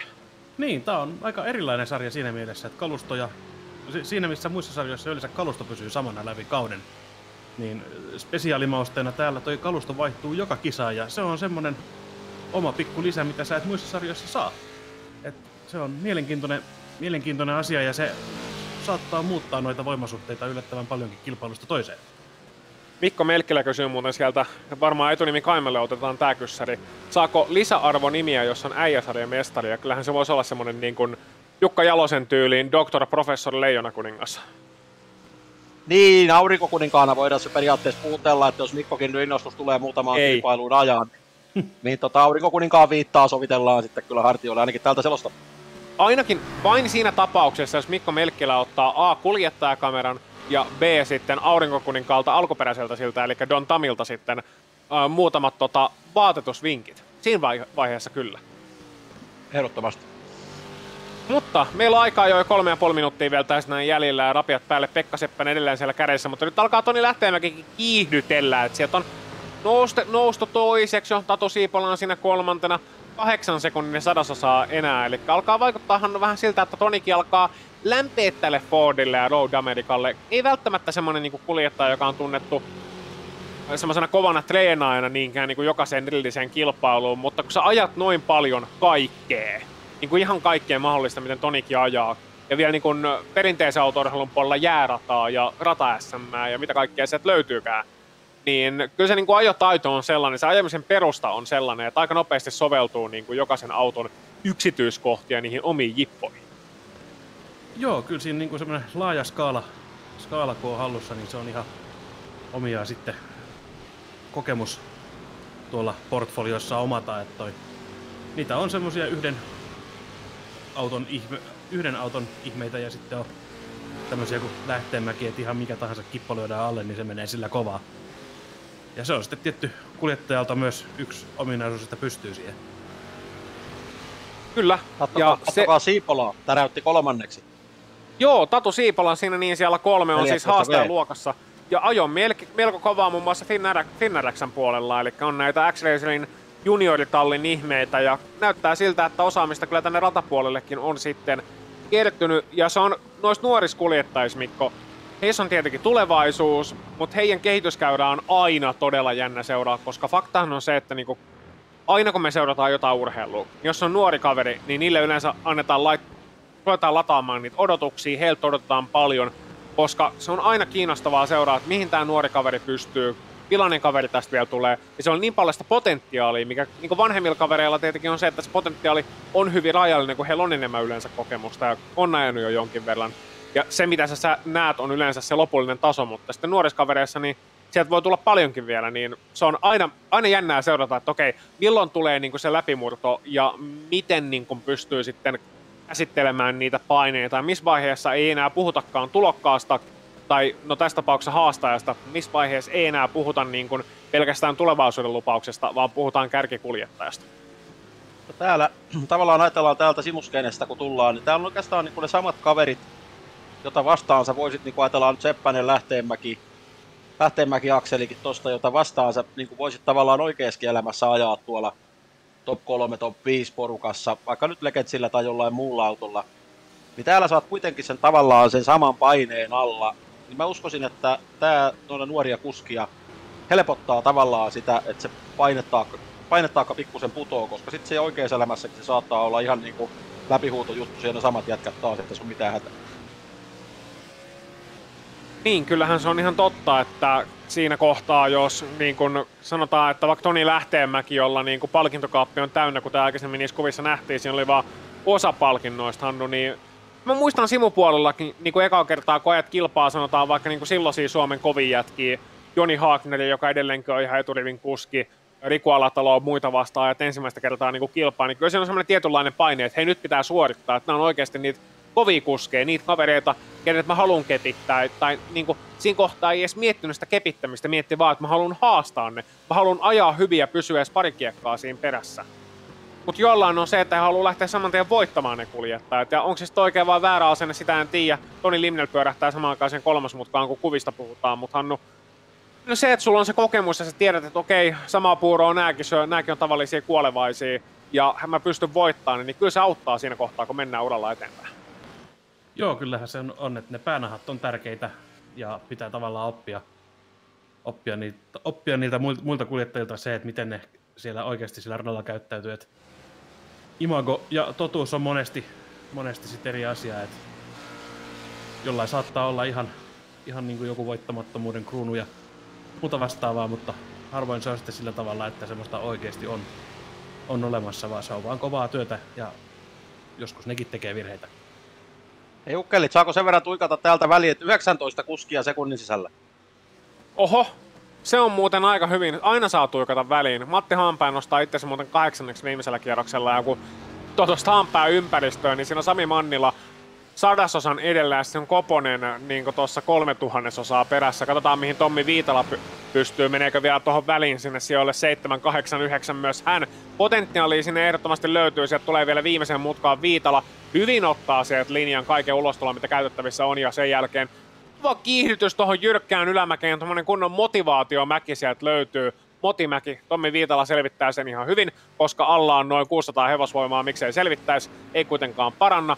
Ja sitten Onni Peltonen haastajaluokassa viime vuonna pärjäsi todella hyvin, taisi voittaa äijäsarja, jos en ihan väärin nyt muista. Nyt on haastajaluokassa tässä näin 28. ruutu toistaiseksi. Ei ehkä ihan sitä, mitä Onnilta osataan odottaa, mutta katsotaan onnistuuko viimeisellä kierroksella sitten vielä parantamaan 1,9 sekuntia kärkeä perässä, eli melkein kaksi sekkaa tuosta löytyy. Sieltä niin tullaan viivan yli ja tilanne on se, että ei, no tulee pikkasen parannusta, parikymppää nostaa parisia itsensä ylöspäin. Mikko, onko sulla sisäpiirin tietoa tuosta Onnin tilanteesta, että minkä takia siinä saattaisi olla nyt vähän niin kuin heikompi tulos ainakin aika-ajoissa tästä Road American kilpailusta? Treenaaminen on aika ollut suhteellisen minimaalista, siis sillä on muutaman kerran ehtinyt onni treeneihin, muut harrastukset näin talvella jääkiekko vähän syö aikaa nuorelta mieheltä ja, ja tota, sitten vielä vähän setapeitten kanssa on veivattu ees sun taas sun, taas sun että ei oikein päässyt tota, täyspainoisesti treenaamaan niin yhdellä setapilla pitkää vetoa ja se varmaan nyt sitten vähän tuossa tuloksessa näkyy, mutta mä uskoisin, että on niin kun se kattelee tuossa edellä meneviä jarruvaloja, niin sieltä pikkuhiljaa, että, että lähelle kymppiä ainakin itse toivoo, että jos pystyisi nouseen, katsotaan kuinka kisassa käy. Joo, voitaisiin ottaa tähän väliin myöskin Toni Lähteenmäen mietteet sitten. Toni Lähteenmäen mietteet noista aika-ajoista. Toni, Paransitko juoksua? No joo, oli siinä mahku parempaankin, mutta sitten viimeisellä nopealla sössin ton viimeisen mutkan ja siitä off track vielä, mutta ihan kohtuu hyvä tulos, eiköhän tosta ole ihan hyvät asetelmat lähteä. Ja sulla on myöskin nöyrästi tuolla tuossa simuhuoneessa tuo palkintokaappi esillä. me vähän arvuuteltiin tuossa, arvuuteltiin tuossa noin, kysytään nyt sulta ihan suoraan katsojillekin tiedoksi, paljon sulla nyt niitä Suomen mestaruuksia ja Pohjoismaiden mestaruuksia oli? Yhdeksän Suomen mestaruutta ja yksi Pohjois-Euroopan mestaruus. Okei, kymmenen yhteensä. Miten sitten, tota, tuleeko tältä kaudelta siihen myöskin kaveriksi äijäsarjan mestaruus? En tiedä, kyllä pojat menee tosi kovaa, että on, on niin kuin yllättynyt sit tästä tasosta, että kyllä saa oikeasti ajaa kovaa, jos meinaa täällä pärjätä. Että, mutta koitetaan nyt tänään ottaa se voitto, kun ensimmäinen kisa meni vähän niin sanotusti munille. Joo, niinpä se meni, niinpä se meni, mutta ei mitään. Onnittelut kilpailu, onnea kilpailu ja eturivin lähtöpaikka. Eiköhän sieltä hyvät mähinät saada aikaa. Eiköhän. Jes, kiitoksia Toni Lähteenmäki nopeasta haastattelutuokiosta. Päästään kaverit nyt tässä näin ajamaan. Siinä siis Toni Lähteenmäki ja kakkos lähtöruutu tähän kilpailuun. Palta lähtee siis Pekka Seppänen ja kolmas ruudusta puolestaan kovin haastaja Tatu Siipola. Ville Taalikka jälleen kerran proffia siinä neljännellä lähtöpaikalla. Jani Kivioja puolestaan viides ja Teemu Peltola sitten kuudes, eli haastajat ruudussa 5 ja 6. Samoin löytyy sitten ruudusta 7 ja 8 muutamia haastajia. Tässä tapauksessa Sami Mannila sekä Matti Haanpää. Neli Koponen ja Jani Vertanen täydentää sitten kärkikummenikon proffia kumpainenkin, eli siinä voivat sitten antaa ehkä edellä ajaville ja takana tuleville tuommoista pientä luennon poikasta. Kyllä vain. Ja sitten sieltä löytyy 11 ruudusta Jani Huusela, 12 ruudusta Markus Aaltonen, 13 Janne Kivimäki, 14 Tommi Viitala, 15 Toni Limnel, 16 Mika Liljekvist, 17 Antti Anttila, 18 Daniel Asp, 19 Kari Järp ja 20 Ron Hämäläinen. Hämäläinen siinä siis siellä 20, hänen perässään sitten ruudussa 21 haastajista. Sami Hirvonen ja Jukka-Matti Kuisma, Aapo Väänänen lähtee ruudusta 23 ja Tommi Nukarinen sitten paikalta 24.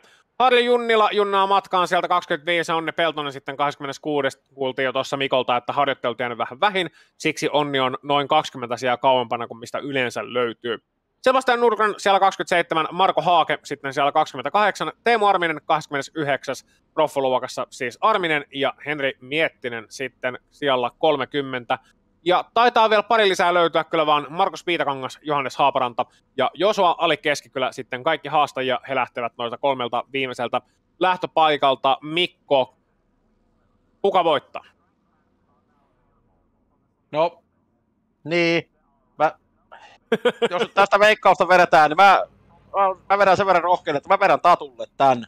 Että tota, Tatu on ainut treenikisoissa aivan huikeita, huikeita vetoja ja suorituksia ja ja kaveri on, on rohkea ohittaa ja muuta, että, että tota, toivottavasti niin kuin ainakin pistäisi kunnolla kampoihin eturivin miehille, että sen ainakin toivon, mutta uskoisin, että Tatu pystyy myös voittamaan. No Hannulle, Hannulta mä en edes kysy, Hannu ei nimittäin halua veikkaa, nimittäin me ollaan sen verran kokeneet selostajia, että meillä toi selostamon jinksi kirous on niin vahvasti voimissa, että se kaveri lähtee varmasti seinille, ketä me veikataan ja sitä kohtaloa me ei kenellekään haluta. Sen sijaan katsotaan, kun sieltä kuljettajat lähtee matkaan, hyvin lähdetään liikkeelle Seppänen ja siinä lähteemäkin. Siellä on pientä kontaktia takana ja isompaa kontaktia. Sitten muutama auto lähtee sieltä jo Narnian puolelle. Autoja pyörii valtoin menaan, kuten vaan sitten Spaassa 98, eli sieltä jää viimeistä 10 autoa sitten sinne lähtösuoralle heti näin, mutta muut pääsee ihan kliinisten matkaan ja sieltä saadaan sitten myöskin jonkinnäköinen järjestys tähän touhuun. Ja se järjestys on sellainen, että kyllä Pekka Seppänen ekaan mukaan mennessä johtaa.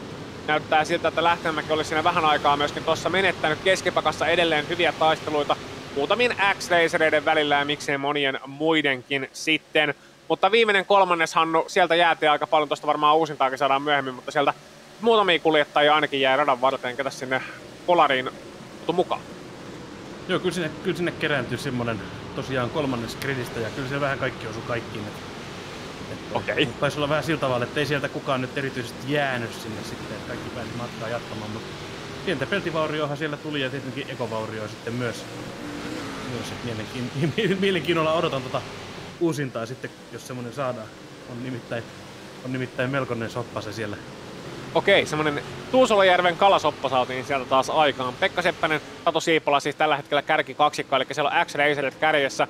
Pekka Seppänen X-Racerin päätiimin kuskina, sitten Siipola Junnu-tiimin kuskina siinä siellä kaksi luokassa. Toni Lähteenmäki tippunut nyt siellä kolme jäänyt tekee kolme sekuntia tässä ensimmäisen kierroksen aikana. Siinä on sillä väli Jani Huusela niukassa taistelussa myöskin ja siinä on sitten hänen vierellään puolestaan Kivimäki. Samaan aikaan Harri Junnilla on pyörähtänyt nyt sinne kasin. Mutkan jälkeen taas kerralla ennen tätä karusellin siltaa. Siellä on, siellä on Onni Peltonen karusellissa. Siellä on Onni Peltonen karusellissa ja se kilpailu oli muuten sitä myöten siinä. Ja se oli lyhyt iltapuhde Onnilta tänään samaan aikaan Heri Komren koittaa sieltä löytää tietään ilmeisestikin vertaisesta ohitte. Ei kuitenkaan siinä aivan tällä hetkellä onnistuneesti Jani Vertanen pitää tuon kahdeksannen sijaan ja Henri Koponen tällä hetkellä edelleen yhdeksän. Tommi Viitala koittaa päästä heidän peränsä siellä kymmenen ja rikkoo vähän tota muodostelmaa, miksi ne on päässyt nyt muodostumaan.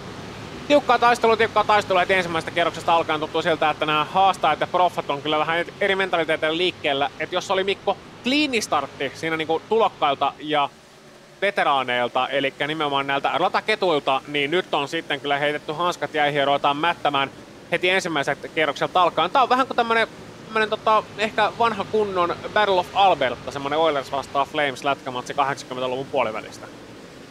Tiukkaa on kyllä joo, että, että tota, en tiedä sitten, että johtuuko se sitten setupin eroista, eroista tai muista tuossa tota, lähtösuoralla, että mikä, mitä kaikkia siinä tapahtui, mutta, mutta aika tiukkaa on, että voisi ottaa ihan noin piukaksi menee, mutta tietenkin tuolla kun muutama saa unelma lähdön, niin sitten siellä tulee ahdasta. Joo, tässä kertaa tässä näkyy toi tilanne Hannu sitten uusintana myöskin. Siellä oli Onni Peltosta, Sami Hirvosta, monia muita mukana. Eli ihan siltä, että siinä vaan loppu tila kesken, pari kaveria saa huonomman startin ja sitten kun yksi auto pyörähtää, niin toi Road American pääsuora, se on todella kapea. Siis se tossa on ongelmana. Joo, ja sitten ei se kapeus pelkästään, vaan sitten siinä on suoraan sitten vielä aita molemmilla puolilla ihan vieressä, niin se on kaksi Fordia, mitkä saatu tien poikki ja se on siinä. Juh. Sitten ei mennä hirveästi yli, ali eikä ympäri, vaan siinä kohtaa ainoat vaihtoehdot on niin pistää liinat kiinni tai sitten vaan ajaa siihen kasaan, mikä siitä edeltä löytyy. Näin nähdään sitten tätä keskipakan tilannetta, mikä meillä kuvissakin on. Kaletka siinä on saatu muodostumaan. Tuntuu siltä, että pari ensimmäisen kerroksen jälkeen tuo homma olisi ehkä Inan verran päässyt rauhoittumaan, mutta mä oon edelleen yllättynyt siitä, kuinka paljon tuossa on kärki kaksikko nyt päässyt karkuun. Pekka Seppänen, Tato Siipola. He on noin sekunnin päässä toisistaan. Sillä välin Ville Taalikka koittanut tehdä jonkinnäköisiä peliliikkeitä tuolla taustalla. Katsotaan, mitä siinä on oikein käynyt. Taalikka on siellä, nyt sitten näkyy ruudussa, että olisi siellä neljä, mutta tuo oikea sijoitus on jotain ihan muuta, nimittäin siinä on nyt tultu kutosmutkaan haettu ohituspaikkaa, ja onko siinä ollut peräti ihan puhdas ohitus sitten, että siinä on päässyt tällä hetkellä tuohon Toni Lähteenmäen perään. Kyllä vaan hieno liike siitä ja näin Jani Kivioja on selätetty. Ja kyllä se on ihan nelos siellä, millä hän on nimittäin. Toni Lähteenmäki tuossa siellä kolme noin sekunnin päässä edessä. Ja nyt näyttää siltä, että Toni olisi saanut pikkasen paremman kierroksen Hanno tuosta aikaa ja alkaa sitten kärkeä ehkäpä saavuttamaan, mutta aika paljon on tosiaan. Joo, ensimmäisellä kiekalla meni Seppänen sekunnilla karkuun ja sitten toisella kierroksella 20. Et pikkuhiljaa toi sitten rupeaa tosta varmaan kaventumaan kohta, jos Toni vaan saa. Ei korjaa, sen verran joudun korjaamaan, että katoin Siipalan, Siipalan kierrosaikoja en lähtemään. Meni, pahoittelin tätä virhettä. Ei mitään virheitä sattuu, Joo. ja niitä myöskin onhan mäkin syntynyt, mutta tota, Tämäkin siinä nyt 2,8 sekuntia siis kärkeä perässä. Siipala siinä sekunnin päässä kärjestä. Seppänen, Seppänen edelleen johtaa kilpailua ja siinä kuvataan keskipakan taistelua puolestaan. Siinä on muutamia, muutamia tiukkoja tilanteita. Sieltä tulee mutta yksi Axelaser sitten aika myöhäisellä liikkeellä, mutta saa ohituksen aikaa, mutta menettää siinä autohallina vähän tommonen pieni, pieni, pieni sladi siitä ja sen sieltä olisi saanut ohituksen aikaan niin menettää siitä yhden sijoituksen. Katsotaan, kuka siinä nyt on oikein sitten kuvissa kyseessä. Siinä tulee muitakin virheitä, nimittäin tuntuu siltä, että siinä Toni Limnel oli nimenomaan kaveri, joka teki jarruvirheen ja siinä edellä ollut kaveri sitten puolestaan Markus Aaltonen. Pääsi hetkeksi aikaa ohi, mutta Aaltonen teki virheen sitä seuraavaan mutkaan näistä noin virheet kertautuu ja paikat vaihtuu. Jani Huusala viimeinen kuljettaja tässä jonossa. Hän on sitten siellä 14 tällä hetkellä kiinni. Limnel, no tosiaan 11 tällä hetkellä ajaa sinne Peltolan takana ja katsotaan sitten mihin Peltola pystyy tässä kohtaa omalla suorituksella. Et pysyykö tuossa edellä vai onko Limnel sitten tällä hetkellä oikeasti syönti päällä ja monossa semmoinen luisto, että tai suksessa semmoinen luisto, toivottavasti monojen luisto yhtään, vaan suksiluista pääsee sitä kautta sitten tuosta sijoituksia napsimaan aina kasisiaan asti. Tämä letka jatkuu nimittäin Heidi Koponen siinä tällä hetkellä siellä kahdeksan ja vetää nyt Peltolaa ja Viitalaa ja kumppaneita perässään. Viitala sieltä niin nostaa itse tällä hetkellä itse asiassa yhdeksänneksi, mutta ajautuu leveäksi Kanada Cornerin jarrulla ja sieltä pääsee Limnelkin nyt sitten haastamaan. Ja Limnel tulee muuten sieltä ohi. Ihan nätti liike limpulta sieltä ulkopuolelta kiertää ja näistä viimeisen mutkaan saa ihan oman ajolinjan haltuun ja sieltä myöskin ottaa hyvän ulostulon. Eli tää on vähän tälleen Mikko X-Racer vastaan Grande Velde täällä kärkikymmenikön paikoilla tällä hetkellä. Onneksi siinä Letkan kärjessä menee kuitenkin järjestäväkin seuran värit, että, että tota, ihan pelkästään, pelkästään punasta ja vihreätä ole. Siinä on hyvää vääntöä ukkeleilla ja Limpulla on ollut tota, Uh, sanotaanko treeneissä niin aika... Ai, ai, ai, anteeksi, ai, ai. nyt oli kova. Janne Kivimäki tuossa aut ihan täysin tuohon kinkki ulostuloon. Kato, että uusinta siitä tulee joo. Janne Kivimäki tuli siihen kinkkiin, mutta lähti vaan peräalta, korjas liikaa Mikko ja räjäytti siihen seinään sitten. Ja se oli muuten sitä myöten siinä. Ne on taas semmoisia tilanteita, minkä nähtyä niin on ihan onnellinen, että on vain simracingia. Pikkasen jo pyöränurmikolle ja sitten kun siitä lähdetään vauhtia on tossa se 220, 20, niin tota, ei siinä tarvi hirveästi nurmikkoa tarjota. tarjota. Siihen limpusta jäi sen verran kesken, että... Oho! Oho! Oho! Oho! Niin, limpulla, tota, limpulla, oli, limpu, niin, limpulla oli karkea setup ainakin treeneissä, kun se tuli, seurattiin, niin se tuli aina tota, jätöissä niin ihan hirveä tavutsua. Ja, ja tota, yrkkää, yrkkää, on ollut kyllä paljon, mutta harvi, että nyt meni seinään. Että on nähty kyllä paljon jarrusavuja ja paljon pitkiä luisuja ja kaikkia, mutta, mutta tota, nyt se vähän kostaa. Tuntuu siltä, Hannu, että noin jarrumerkkien löytämiset on hieman tota, haasteellisia kuljettajille tänään. Olosuhdejuttu toki, siinä mainittiinkin haastattelussa aikaisemmin Jukka, kanssa jututettiin, että renkaat on tosi liukkaita, niin siinäkin voi olla jonkinnäköisiä vaikeuksia. Katsotaan millainen on Kari Kierpin tyyli näytä tuosta kinkistä. Meneekö nyt hieman paremmin? No ei, nyt menee ulkoseinään sitten ja saa kuitenkin kopattua silleen, että ei tuohon sisämuuri enää päädy, mutta kyllähän toikin tuottaa vaurio autoihin. Niin, noissa jarruissa ollaan nähty yllättävänkin tommosia niinku, ainakin kuviin Hannu, helppoja virheitä. Niin, tää on raskas auto ja jarrut ei välttämättä ole mahdollisimman niin hirveän tehokkaat, että pieni missi, niin mennään pitkälle, mutta jarrumerkkihän se on myöhäinenkin, jar, liian myöhäinenkin jarrumerkki. Juu. Tota, jos sitten kantilta mietitään, tämä ei ole helppo auto.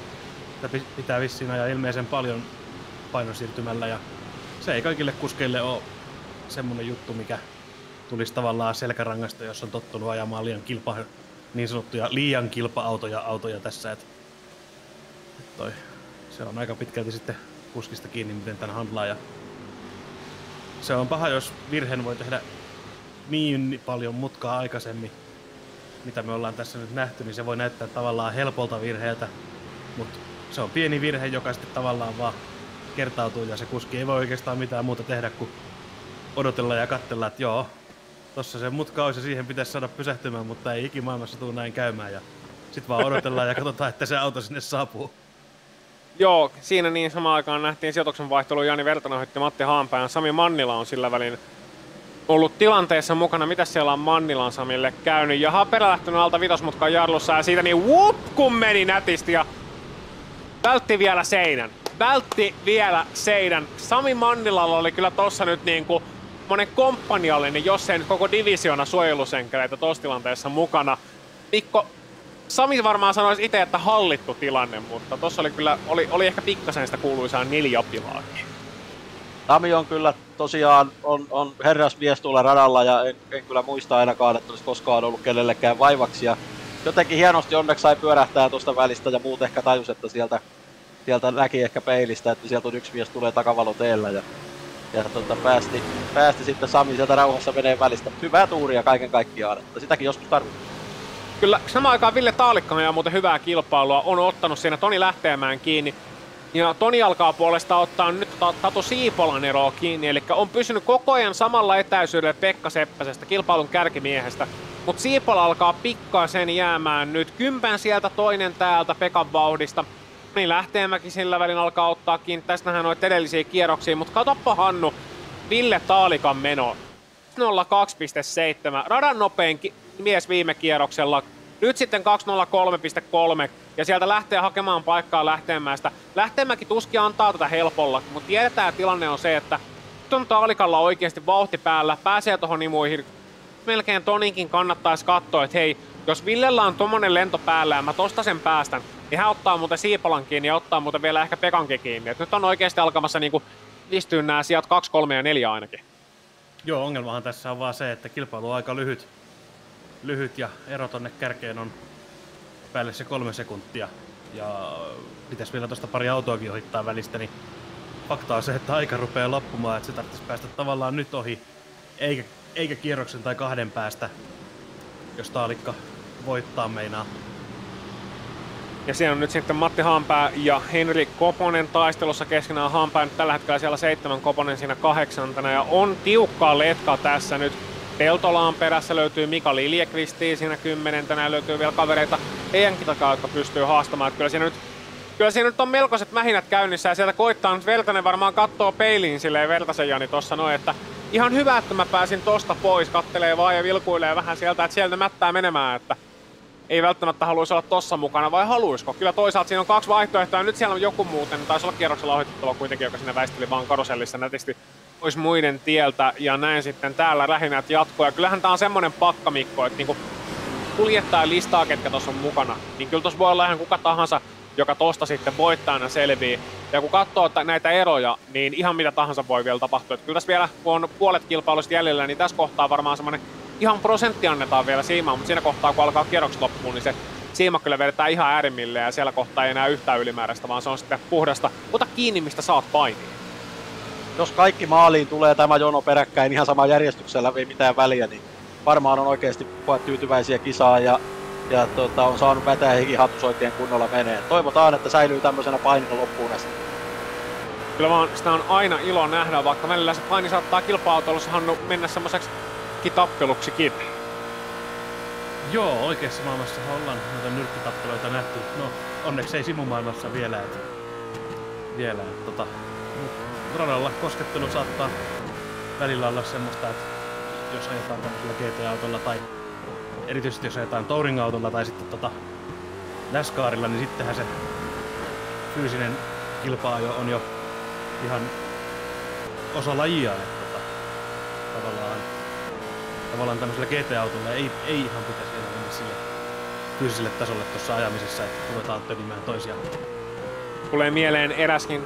Oi, sen muuten Huusela tulee nätin liikkeen Aaltosesta. Nätillä liikkeellä Aaltosesta ohitte ja ottaa tosiaan 11 haltuunsa. Jotenkin tolleen niinku viime hetkellä salakavalasti siirtyi sinne sisälle. Et missään vaiheessa ei suoralla Jani Huusela näyttänyt, että hei mä tuun täältä nyt ohi, vaan viime hetkellä katso, katoppa. Siinä on muuten ihan hyvä jarlomerkki haettu ja kaveri edessä jarruttaa vähän aikaisemmin, niin ei mitään, minäpä tästä pujahdan Mikko. Ja ton on vaikeat tilanteet välillä, koska se näyttää siltä, että okei mä huijasin edellä ajavaa kuskia, tai huijas Huusela edellä ajavaa kuskia, mutta se on myöskin omalla tavallaan vaarallinen, jos edellä ajava ei oikeasti taju yhtään kattoa, että siellä on kaveri perässä tulossa ohi. Ykkösluokassa tietenkin, kun kaikki ajaa samalla setupilla, niin tahtoo olla niin, että se jarrumerkki on kaikilla aikalla siinä samalla metrillä, mutta sitten tässä tietenkin, kun äh, varmaan kaikilla kuskeilla vähän on erilainen setup oman mieltymyksen mukaan rakennettu, niin Janilla voi olla jarruissa vähän vahvempi auto kuin Markuksella, ja nyt kun renkaat rupeaa kuluun, niin ei oikein ole sitten enää välttämättä Markuksen setupissa ihan sitä parasta virettä, virettä enää, niin Jani pystyy sitten sillä myöhäisellä jarrutuksella vähän tekemään jopa pientä eroa. Niin, ja hyvä, ettei siinä, on, hyvä, ettei siinä mitään collisioneita myöskään nähty tai mitään turhia onnettomuuksia, vaan siinä Jani Huusela pääsi nätisti siirtymään. Vähän ovat kuitenkin menettäneet aikaa sitten Lillekvistille ja tolle edellä ajavalle pakalle. Ja onko se vaan minä vai onko Jani Vertanen nyt alkanut hyytyä sitten tuossa sijalla kuusi? Nimittäin sieltä Hampää, Koponen, Peltola, Lillekvisti nyt kovasti jahtaa heitä ainakin, Hannu. Et kyllä, mä, kyllä mä näkisin, että kyllä tuossa Vertanen, joka aikaisemmin saattoi vähän tota, niinku, ottaa semmoisen syvän henkäyksen, että pääsimme tuolta pakalta pois, niin ei olekaan enää ihan niin turvassa. Haanpää 80 nopeampi edellisellä kierroksella ja siellä alkaa nyt sitten toi joukko, toi iso iso pääjoukko niin lähestymään ja lähestymään joka kierrokselta ja toi on varmaan aika semmonen tota kuumottava tunne. Joo, kyllä vaan siinä on takana olevista autoista porukka niin sekunnin viiva 80 ollut nopeampi edellisellä kiekalla ja auto näyttää ihan ehjältä, että sen puoleen ei pitäisi olla mitään ongelmaa, mutta siinä on kolmesta viimeisestä kiekasta kaksi silleen niin kuin aika heikkoja ja nyt ollaan sitten siinä takana jo ihan iskuetäisyydellä kohta. Et, et kyllä se näyttäisi vähän siltä, että tämä sama meno jatkuu ja olisiko sinne keitetty renkaat, renkaat sitten Vertasen ajamana. Koposella, Koponen on muutaman kerran ainakin tuossa näyttänyt hampeen takana ihan selkeästi mutkittelee niin kuin näyttää nokkaa, että olisi kyytiä tarjolla. Tarjolla vaikka ajaa ehkä vielä nopeamminkin Jani kiinni, mutta vielä toistaiseksi ei ole tuota ohitusta sitten Haanpää ja Koposen osalta nähdä. Niin, tuossa on aika paljon tuommoista sanatonta kommunikointia nyt menossa, Hannu. Et kuljettajat, no tässä tapauksessa kuljettajat on samassa radiossakin keskenään, että pystyy kyllä keskustella tosta, mutta yleensä kilparadallahan tuo kommunikointi tapahtuu sanottomasti, että jos sä oot vaikka nopeampi kuljettaa parikymppää nopeampi kuin edellä kaveri, susta tuntuu siltä, että sä oot nopeampi kuin edellä kaveri, mikä on niinku kilpa-autoilun perusedellytys, jotta ohitus voi tapahtua, niin kyllä siinä aika paljon koetaan näyttää ensin, ja siinä näyttää siltä, että siinä on myöskin otettu vinkistä vaaria, Koponen lähtee ohittamaan. Katoin aluksi, että saa ihan ajolinjan siitä ja tää tehdään todella ammattimaisesti, mutta eipä siinä, eipä siinä halunnutkaan Haanpäätä sijoitusta luovuttaa niin helposti ja näin painetaan sitten rinnakkain siinä. Matti Haanpää pitää, kun pitääkin tuo seitsemännen siellä hallussaan siinä. Koponen jää sitten kahdeksanneksi Peltola ja Liljeqvist painelee puolestaan vierekkään sitten tuosta seuraavista sijoituksista. Peltola siinä yhdeksäntenä ja Liljeqvist nyt siinä kymmenentenä. Nyt on Liljeqvistillä hyvä paikka kyllä päästä siinä tallikaverinsa perään jopa kiinni, Matti Haanpään perään nimittäin. Siinä kun on Koponen, Peltola nyt jää siinä Liekvistin taakse, nyt olisi Koposenkin nähden paremmat vauhdit, jos siinä pääsee ja pääsee sinne sisälle, löytää Liljekvist jostain välin, lukee tilanteen loistavasti, sieltä niissä puolelta ohittaja Mika Liljekvist näin ollen nostaa itsensä kahdeksanneksi. Siinä oli hyvin luettu tilanne Mikalta, kaikki liikkeet oli ihan täysin oikeita. Vähän joutui kyynärpäät siitä käyttää niin kassajonossa aikaa hulluilla päivillä, mennyt siitä pois. Nämä on mun turkiskaulukset. Ja sieltä niin Mika Liljekvisti kahdeksanneksi kast näin.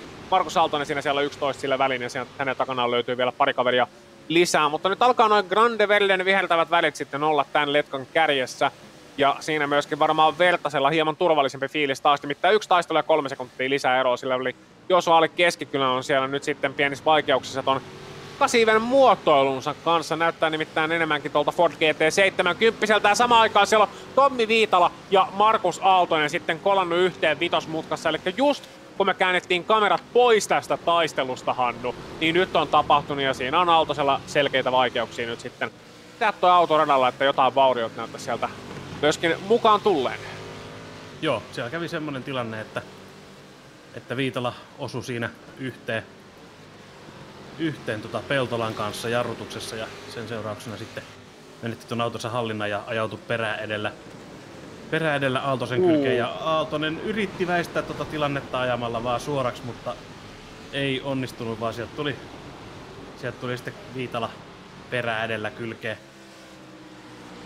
Joo, ja tämä taistelu jatkuu edelleen, nimittäin Tommi Viitala ja Markus Aaltonen on siinä nyt peräkkäin Viitala siinä vähän hitaammilla suoravauhdilla Aaltonen aika lailla lentää sieltä ohi. Ei mitään turhan pahoja vaurioita näyttäisi kuitenkaan kummallakaan olevan. No, Markus Aaltosella ainakaan kyllä toi Viitala auto etenee aika vaikean näköistä. Ja just kun pääsi sanomasta, niin Markus Aaltonen vetää sitten Kanadan koordinatin suoraksi menee tuohon Kanadan seurakunnan tuohon lähetyspisteelle, lähetyspisteelle, tai siitähän tuo Kanadan koordinatin mutka on saanut nimensä. Siellä oli nimittäin Kanadan seurakunnan tommonen avustuspiste mutkan ulostulossa tai mutkan ulkopuolelta löytyvistä rakennuksista, ja sen takia se on sitten Kanada Corner. Jotkuthan sanoo, että mutkan nimi tulee siitä, että jos sä et siinä tarpeeksi pitkäksi, niin päädyt Kanadaan asti, mutta sinne on matkaa 450 kilometriä täältä, että en ihan usko, että niin pitkäksi voi mutkaa vetää.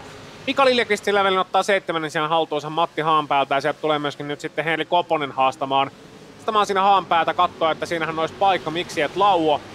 Siinä on kaksi, kaksi tota, Grandevelden auto ja kaksi Vatajankosken sponsoroimaa autoa siinä myöskin, eli siinä on sitten tiimienkin väliset väännöt, mutta näyttää toistaiseksi ainakin Mikko siltä, ettei tuossa hirveästi tiimipelejä ainakaan pelalla, vaan kyllä siinä allikaverit ihan keskenään taistelee. No nostaa hattua täytyy tuolle Huuselalle, että, että tota, tämä jarrupaikka ensinnäkin niin aika, aika huikeita vetoja. Ja Jani tosiaan treen, lähes tulkoon treenaamatta. Ja mun käsittääkseni Jani ei ollut yksilläkään treeneillä ennen, ennen kisaa, niin tää on kyllä huikeeta katsoa. Niin ihan käsittämättömän myöhäiset jarrumerkit on kyllä kaverilla.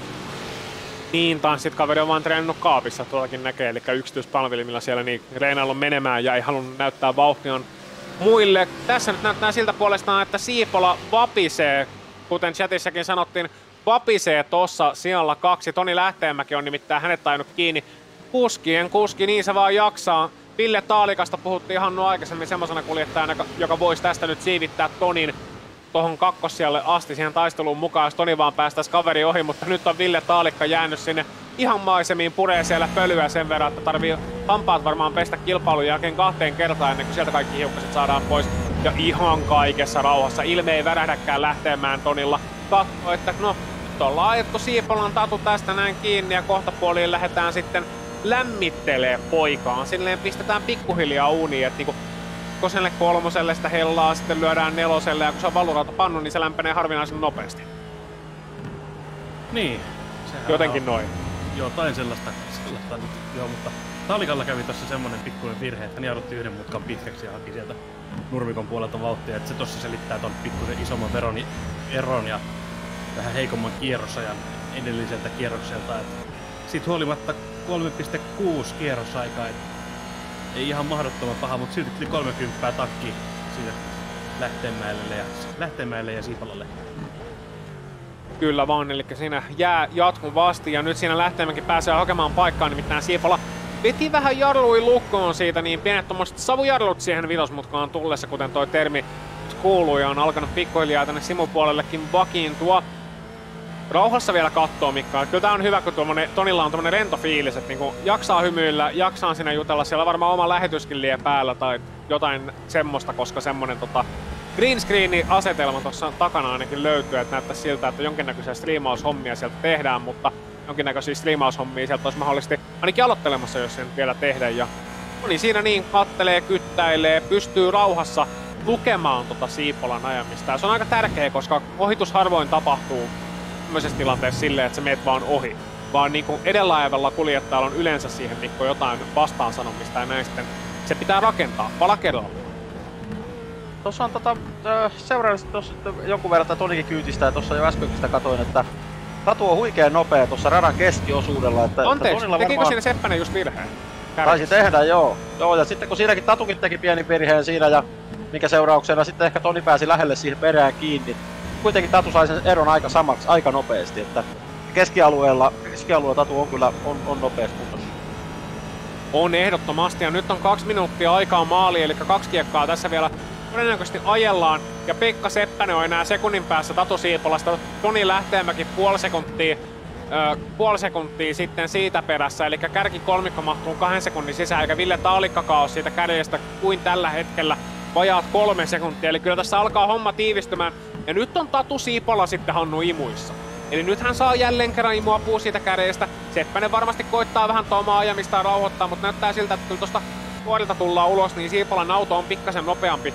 Ja lähteenmäki tuossa jatkuvasti kyttäilee tässä perässä. Ja nyt yhtäkkiä tämä Tonin tilanne ehkä jopa vähän vaikeutui, koska sen sijaan, että hän voisi suoraan Siipalaa haastaa, kun kärkeä ei ole mitään mahkoa, niin nyt täytyy sitten miettiä asioita. Ja tästä tulee Hannu myöskin tämä virhe uusintana. Joo, pikkusen, pikkusen tuonne vasemman puolen renkaat hietikolle, mutta onnistui pitämään kuitenkin laitteet hallinnassa ja 1,2 sekuntia on nyt sitten toi ero, ero taakse. Et ihan ei taida Siipola vielä olla siinä kunnon imujen perässä, mutta ei paljon tarvitse ottaa. Hänellä on semmoinen ongelma vaan, ja se ongelma on aika. Se nimittäin on pikkuhiljaa loppumassa tässä ja pitäisi ajaa ensin sekunti kiinni ja sitten vielä ohi. Et tämä ja seuraava kierros enää mahdollisuutta tehdä se ja käytännössä pitäisi tuossa pääsuoralla olla jo perässä, jos sitä ohitusta meinaa lähteä hakemaan. Eli vaatii käytännössä Seppäseltä virheen, että olisi edes mahdollinen toi yritys. Joo, ja Siipala nyt siinä ottaa parikymppää käkättimeen siinä Seppäseltä tuossa karuselin aikana. Ja samaan aikaan Siipala tekee itse sen pienen virheen.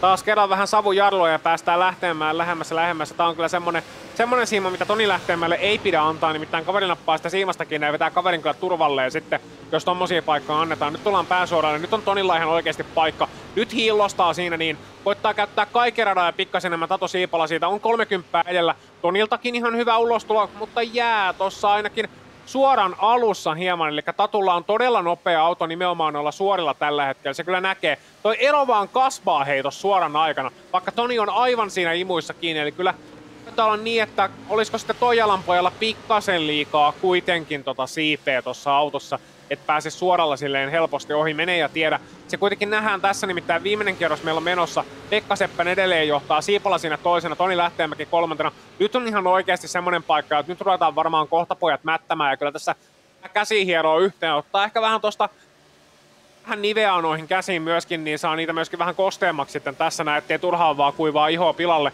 Siipola siinä niin alle sekunti kärjestä Lähteenmäki parikymppää Siipolan perässä. Kello kertoo totuuden, mutta niin kertoo kuvatkin. Niitä ei hirveästi kellosta tarvitse katsella. Kyllä se näyttää siltä, että Seppänä olisi tässä karkuun menossa, mutta miten käy ton kakkosian osalta leveätä linjaa tulee sieltä Tatu Siipola. Leveätä linjaa tulee myös Toni Lähteenmäki, mutta pysyy tuossa kuitenkin radan puolella. Alikka Vaani siellä taustalla edelleen kattelee, kuulustelee Siigaalle, että josko tässä jotain käy, niin miten hän pystyy iskeä. Jos siinä kaverit osuu yhteen, niin mikä on se turvallisin väli? Sellaisenkin varmaan tässä joutuu miettimään, kun sieltä tullaan tätä pitkää pitkää karuselin oikealta, kataittuu ylämäkeen, alamäkeen, pomppii ylöspäin, alaspäin, ja sieltä niin tullaan mutkasta Lostonilta ehkä vähän huono ulostulo samaan aikaan. Marko Haake on siellä tehnyt myöskin pienen virheen, katsotaan mitä hänelle on käynyt. Hän on vetänyt Kanada suoraksi ja päätynyt sinne sitten myöskin seurakunnan puolelle. Kanssa näin, mutta ei vältetä nyt liikaa siitä, vältetään tästä kakkosen kamppailusta.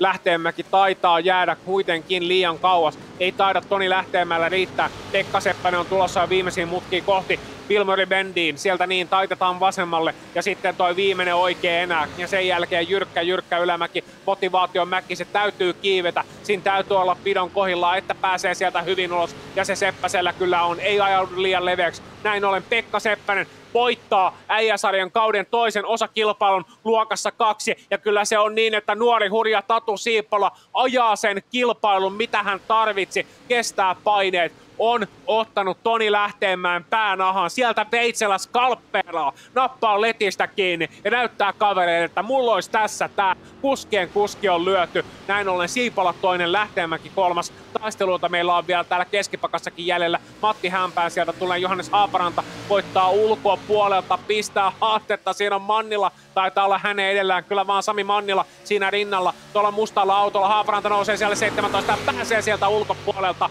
Menee menee ohitte, mutta mitä tekee Aapo Väänänen? Vielä on Kanada jäljellä, eikä Haaprantakaan missään nimessä turvassa ole. Nimittäin sieltä kaverit on on kaverit tuossa hakemassa kiekkoja Haaparannasta, Konsana on toi 17 sijaan, mutta Aapo Väänänen jää vielä toistaiseksi tuohon siellä 19. Mannilla pysyy tuossa kavereiden välissä, on siinä vähän täytteenä, mutta onko ottanut slowdown rangaistuksen vai mikä on tilanne Mannilalla, nimittäin kaveri jää siinä nyt sitten ihan selkeästi jälkeen. Olisiko löpö peräti tässä tilanteessa Hannu loppunut? Se on ihan mahdollista tässä vaiheessa kilpailu. Sen verran himmaa. Joo, joo, joo kolmo, kolmos vaihteella tullaan, että, että tota, pahasti näyttää siltä, että liputellaan viimeisellä Ylämäki. pensolla maali. Ylämäki, ylämäki, saanko työntöapua keltään? Siinä niin oikeassa reunassa menee poissa ajolinjalta Sami Mannila. Onko vielä niin, että on viimeinen kuljettaja siinä kärkikierroksella? Eli kyllä sieltä joku tulee nyt sitten ohitte. Mannila tippuu siellä 20 ja nyt sitten jännätään. Siellä on bensa loppu, out of fuel niin sanotusti. Ja Sami Mannila, Mannila valuttaa, valuttaa, valuttaa. Taitaa kuitenkin riittää pääsee siihen turvaan. Siinä on maaliviiva. Siitä liukuu Mannila-auto. Lippumieskin heiluttelee, että meesty siitä. Saat vähän tuuliapun, menettää siinä vielä yhden sijoituksen, mutta pääsee kuitenkin Mannilan Sami maaliin. Ja siinä oli ehkä vähän turhan tarkalle laskettu, Hannu, toi bensapolitiikka. Niin, tai sitten siinä on laskettu sillä tavalla, että kisassa olisi yksi kierros vähemmän. Et Niin. se voi olla siitäkin kiinni. Tai sitten vaihtoehtoisesti on otettu semmoista damakea, että kulutus on ollut isompi ja on ollut tarkkaan laskettu. Joo, oli miten oli. Pekka Seppäselle tänään Mikko hieno voitto, mutta nähtiinpähän hyvä kärkikolmikko. Ei mitään semmoista älytöntä mättöä siellä niinkään. Se oli enemmän keskipakassa, mutta Pekka Seppänen, Tatu Siipola, Toni Lähteenmäki, hurja kilpailu ja jännittävä loppuun asti. kilpailua oli, oli tota, harmi, että siinä alussa oli vähän sähälinkiä. Sähälinkiä ehkä enemmän odotin sitä siellä luokkaan yksi, mutta kyllä kakkosluokallakin näköjään, näköjään sitten kuitenkin vielä se hanska vähän kädessä puristaa. Ja, ja hienoa taistelua oli siinä keskipakassakin, siinä Huusela, Haapea ja Koponen Liljekvisti akselilla, että, että huikea, huikea hieno kisa oli kyllä. Ehdottomasti. Hannu, miten sitten Tatu Siipalan suoritus? Sulla on Toni Lähteenmäki perässä loppukierroksilla. Öö, menee vähän jarluilla, savujarluihinkin ja näin päin pois, mutta saa pidettyä kaverin takanaan. Oli ilmeisesti auto säädetty hyvin kuntoon ja kun sanoa, että tämä nuorukainen jaksaa vakuuttaa keltä toisensa jälkeen. Joo, Siipolalta kypsä kisa kolmosrudusta toiseksi heti alkuun ja sitten onnistui siinä pitämään ton kakkossian loppuun asti. Et Lähtemäkin hyökkäsi aika rajusti, rajusti lopussa ja Siipola onnistui siitä huolimatta pitämään päänsä kylmänä, niin todella, todella hyvä suoritus. Kyllä oli. Pekka Seppäselle kuitenkin se kaikkein paras suoritus tänään. Hän nimittäin voittaa. Tatu Siipola toinen.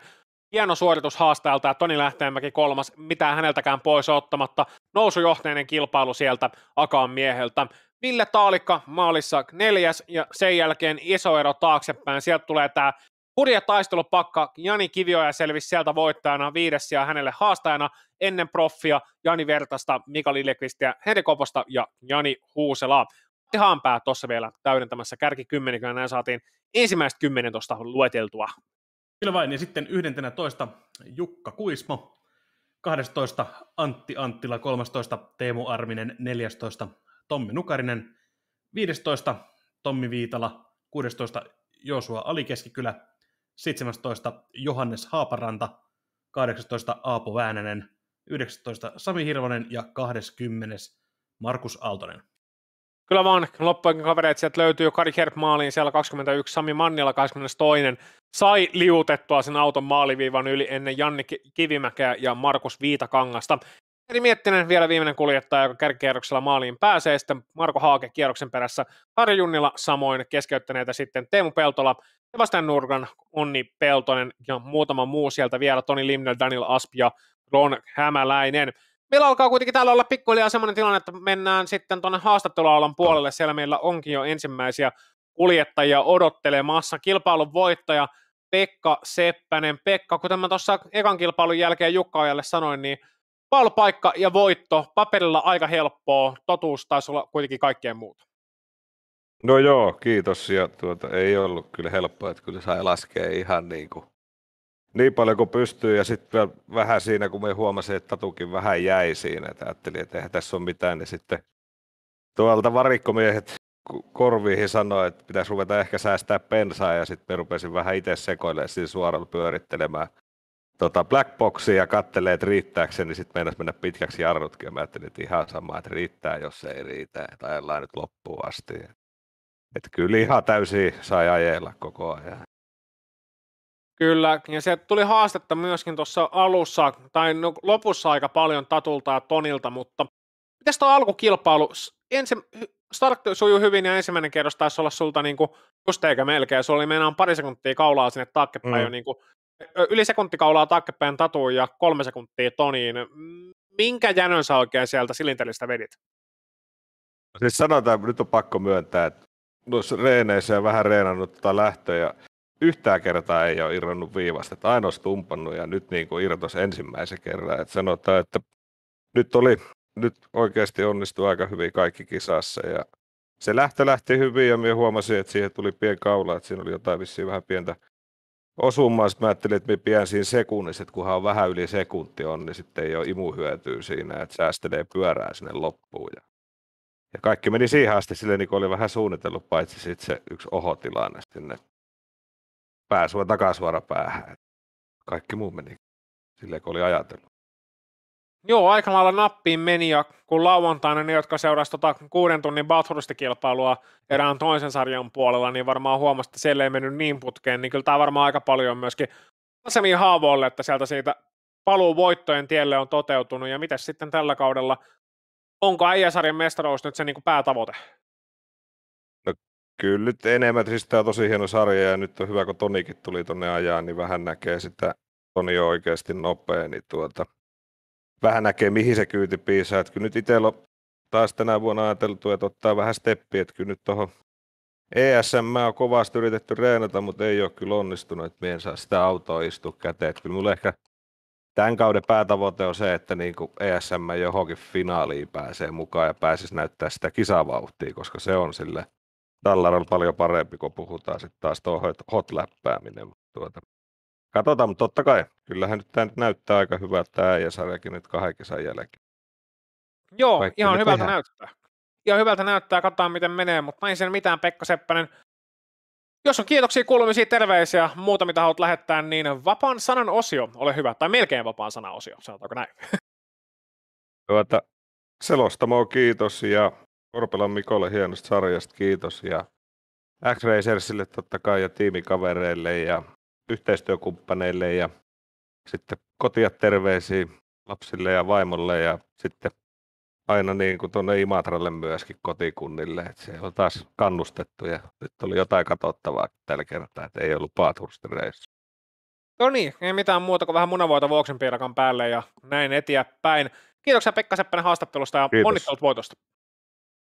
Siinä niin, Pekka Seppänen kilpailun voittaa ja seuraavaksi meillä on sitten kilpailun toiseksi sijoittunut kuljettaja Hannu Etopaltan hellässä huomassa. Hannu. Kyllä vain, meillä on Tatu Siipolla täällä. Onko Tatu kuulolla? Kyllä olen. No niin, hienoa. Kolmas ruutu, maalissa toinen. Puhutaan ihan ensimmäisenä tuosta lähdöstä. Satit todella hyvän lähdön. Ainoastaan yksi mun mielestä siinä kärjessä otti paremman. Taalikka lähti todella hyvin ja oli tulossa jo teistä ohi, mutta osu, teihin, osu suhun pikkuseen siinä startissa ja Joo. menetitte kummatkin vauhtia aika paljon. Kerropa tuosta startista oma näkemys. No ei siinä. Otettiin kumpikin hyvä lähtö ja Taalikka sai vähän paremman ja mä en oikeastaan hirveämmin sinne peileihin vilkuillut. Katoin, että tulee, mutta sitten olikin jo rinnalle ja sitten vähän osumaa. Mutta onneksi ei tota, kummallakaan hajonnut mitenkään autot ja saatiin jatkaa hyvin kisaa. Joo, sinne Pekka sai pikkusen etumatkaa siinä heti alkuun, alkuun että tota, millä ohjelmalla lähdit sitten aja, ajamaan tota kisaa sen jälkeen, kun Pekka oli mennyt horisonttiin, että oliko siinä ajatuksena ajaa kiinni vaiko omaa tahtia ja katsoa, mihin se kehittyy? Ihan ajattelin vaan heti alkajaisiksi, että lähden ajamaan niin kovaa kuin osaan ja pysyn vaan radalla ja Tonia karkuun yritin, mutta kyllä se Toni sai koko ajan hieman kiinni siinä, mutta ei ihan riittänyt. Joo, siinä mennessä loppukierroksella tulla vielä jännä tilanne, kun Pekka teki pari virhettä, virhettä ja sait kiinni. Tavallaan pääsit tuohon sekunnin päähän, alkoiko siinä sitten vielä tulemaan semmoinen olo, että tämä olisi mahdollista voittaa? No eipä oikeastaan. Katoin vaan kokeen Tonia siinä, kun Toni oli kuitenkin niin lähellä, että ei tulisi nyt vikalla kierroksella ohi, että saadaan Pekka ja minä X-Racerilta kärkeen. Joo, oli kyllä, oli kyllä hyvä, hyvä suoritus ja tasapainoinen ajo. Mitenkäs tota, tämä rata ja auto, kerropa vielä, että sopiko kätöseen ja oliko mieleinen yhdistelmä? No alkuun ekan päivän niin ei voinut kyllä muuta sanoa kuin vihasi autoa, mutta nyt siitä alkoi sitten löytyä jarrupaikkoja ja vähän ties miten ajaa ja silleen, niin kyllä se oli sitten ihan mukava kompo tämä tämä Road America ja GT 2-3 Ford. Joo, onnittelut sulle vielä tuosta kakkossiasta. Hyvä kilpailu ja hyvä lopputulos. Öö, annetaan sille tähän loppuun vielä vapaan sanan osio, saa lähettää terveisiä ja muuta sen sellaista. Joo, kiitos. Öö, no, kiitokset menee tästä nyt taas X-Racerin tiimille ja Pekalle, että on ottanut setupeissa paljon. Ei muuta. Joo, kiitokset Tatu Siipolalle haastattelusta ja meillä olisi sitten vielä yksi kaveri, kaveri tuolla haastatteluaulassa, nimittäin Toni Lähteenmäki pääsee sitten Ossianin käsittelyyn. Kyllä vaan, Toni Lähteenmäki kuskien kuski vaihdettiin parit sanat tuossa ennen aikaa jo, tota aikaa jo jälkeen, siinä kakkossa ja voitto oli kova tavoite, mutta ihan, sin, ihan sinne asti et yltänyt. Ihan ensinnäkin, mitä siinä ekalla kierroksella oikein tapahtui? No ei ollut tota lähtö hirveästi reenattu, että sehän stuppasi siihen sitten ja varmaan sit sen takia siinä takana kaverit kolisteli, että on pahoillani, että aiheutin siinä vähän hämminkiä. Että sitten kun pääsin siitä vaan pois jaloista, niin sen jälkeen olisin ollut neljäntenä ja pääsin heti sitten kuittaan kolmanneksi ja sitten vaan koitin antaa pojille painetta edessä. Joo, jos jo, jostain katsojasta tuntuu pahalta, että stumppaa auton valoihin joskus, niin älkää huoliko. Yhdeksänkertainen Suomen mestarikin on siinä onnistunut. Tota, Toni Lähteenmäki, miten sitten sen jälkeen lähit hurjaan takaa ajoon? Näytti hetken aikaa siltä, että sieltä olisi takaakin saattanut haastetta tulla, mutta aika vapaasti pääsi tajelemaan. Niin miten tuo auto kehittyi kilpailuaikana? No mä taisin olla ainut tuossa kärkiryhmässä, joka jo tuolla ysin, ysin siivellä ja ainakin noi Tatu sanoi tuossa, että niillä oli setissä kolmosen siipi, että ne meni suoralla sen verran kovempaa. Mä olin kyllä sitten tuo syherällä nopeampi, mutta tosi vaikea on kyllä mennä ohitte ilman toisen virhettä. Rengas tuntuu, että ehkä mulla säilyi vähän parempana siinä, mutta minkäs teet, kun ei ihan imusta riitä suoran päähän ohitte, että oli ehkä virhe, virhe lähteä tuolla isommalla siivellä nyt, mutta ensi kerralla olisi ollut fiksumpi, mutta eipä taida siitä olla enää hyötyä.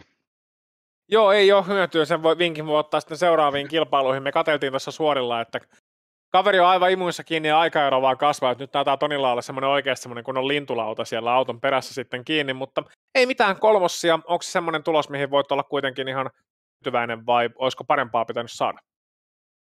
No joo, ihan varmaan se mitä ansaittiin, että Pekka ja Tatu ajoi kyllä tosi hienosti, että heille siitä propsit, että ei mitään isompia virheitä, molemmilla taisi ihan muutama, muutama pikku virhe sattua siihen, mutta oli kyllä niin kuin kyyti kohdillaan pojilla, että toi oli aika lailla se maksimi, mitä, mitä nyt tänään pystyy. No niin, se oli maksimisuoritus, siihen voi olla tietenkin kuljettaa aika, aika pitkälti tyytymäinen yleensäkin, kun kilpa puhutaan. Ei mitään, Toni Lähteenmäki, kiitoksia kolmisia terveisiä ja muuta, mitä olet lähettää, niin melkein vapaan sana osio, ole hyvä. Ei, kiitoksia striimitiimille taas lähetyksestä ja Korpela Mikolle kumppaneille hienon sarjan järjestämisestä, että ei muuta kuin kuukauden päästä sitten uudestaan vetoja. Vetoja silloin. Kiitoksia Toni Lähteenmäki haastattelusta ja onnittelut podiumista. Kiitos.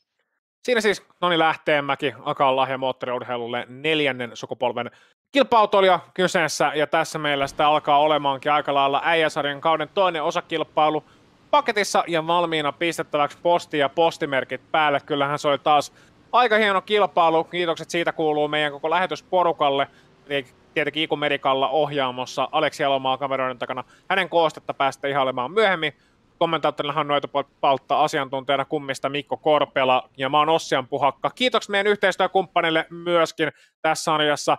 Vatankoski Barots pääyhteistyökumppaneina sieltä löytyy ruudusta sitten loppuja yhteistyökumppaneita.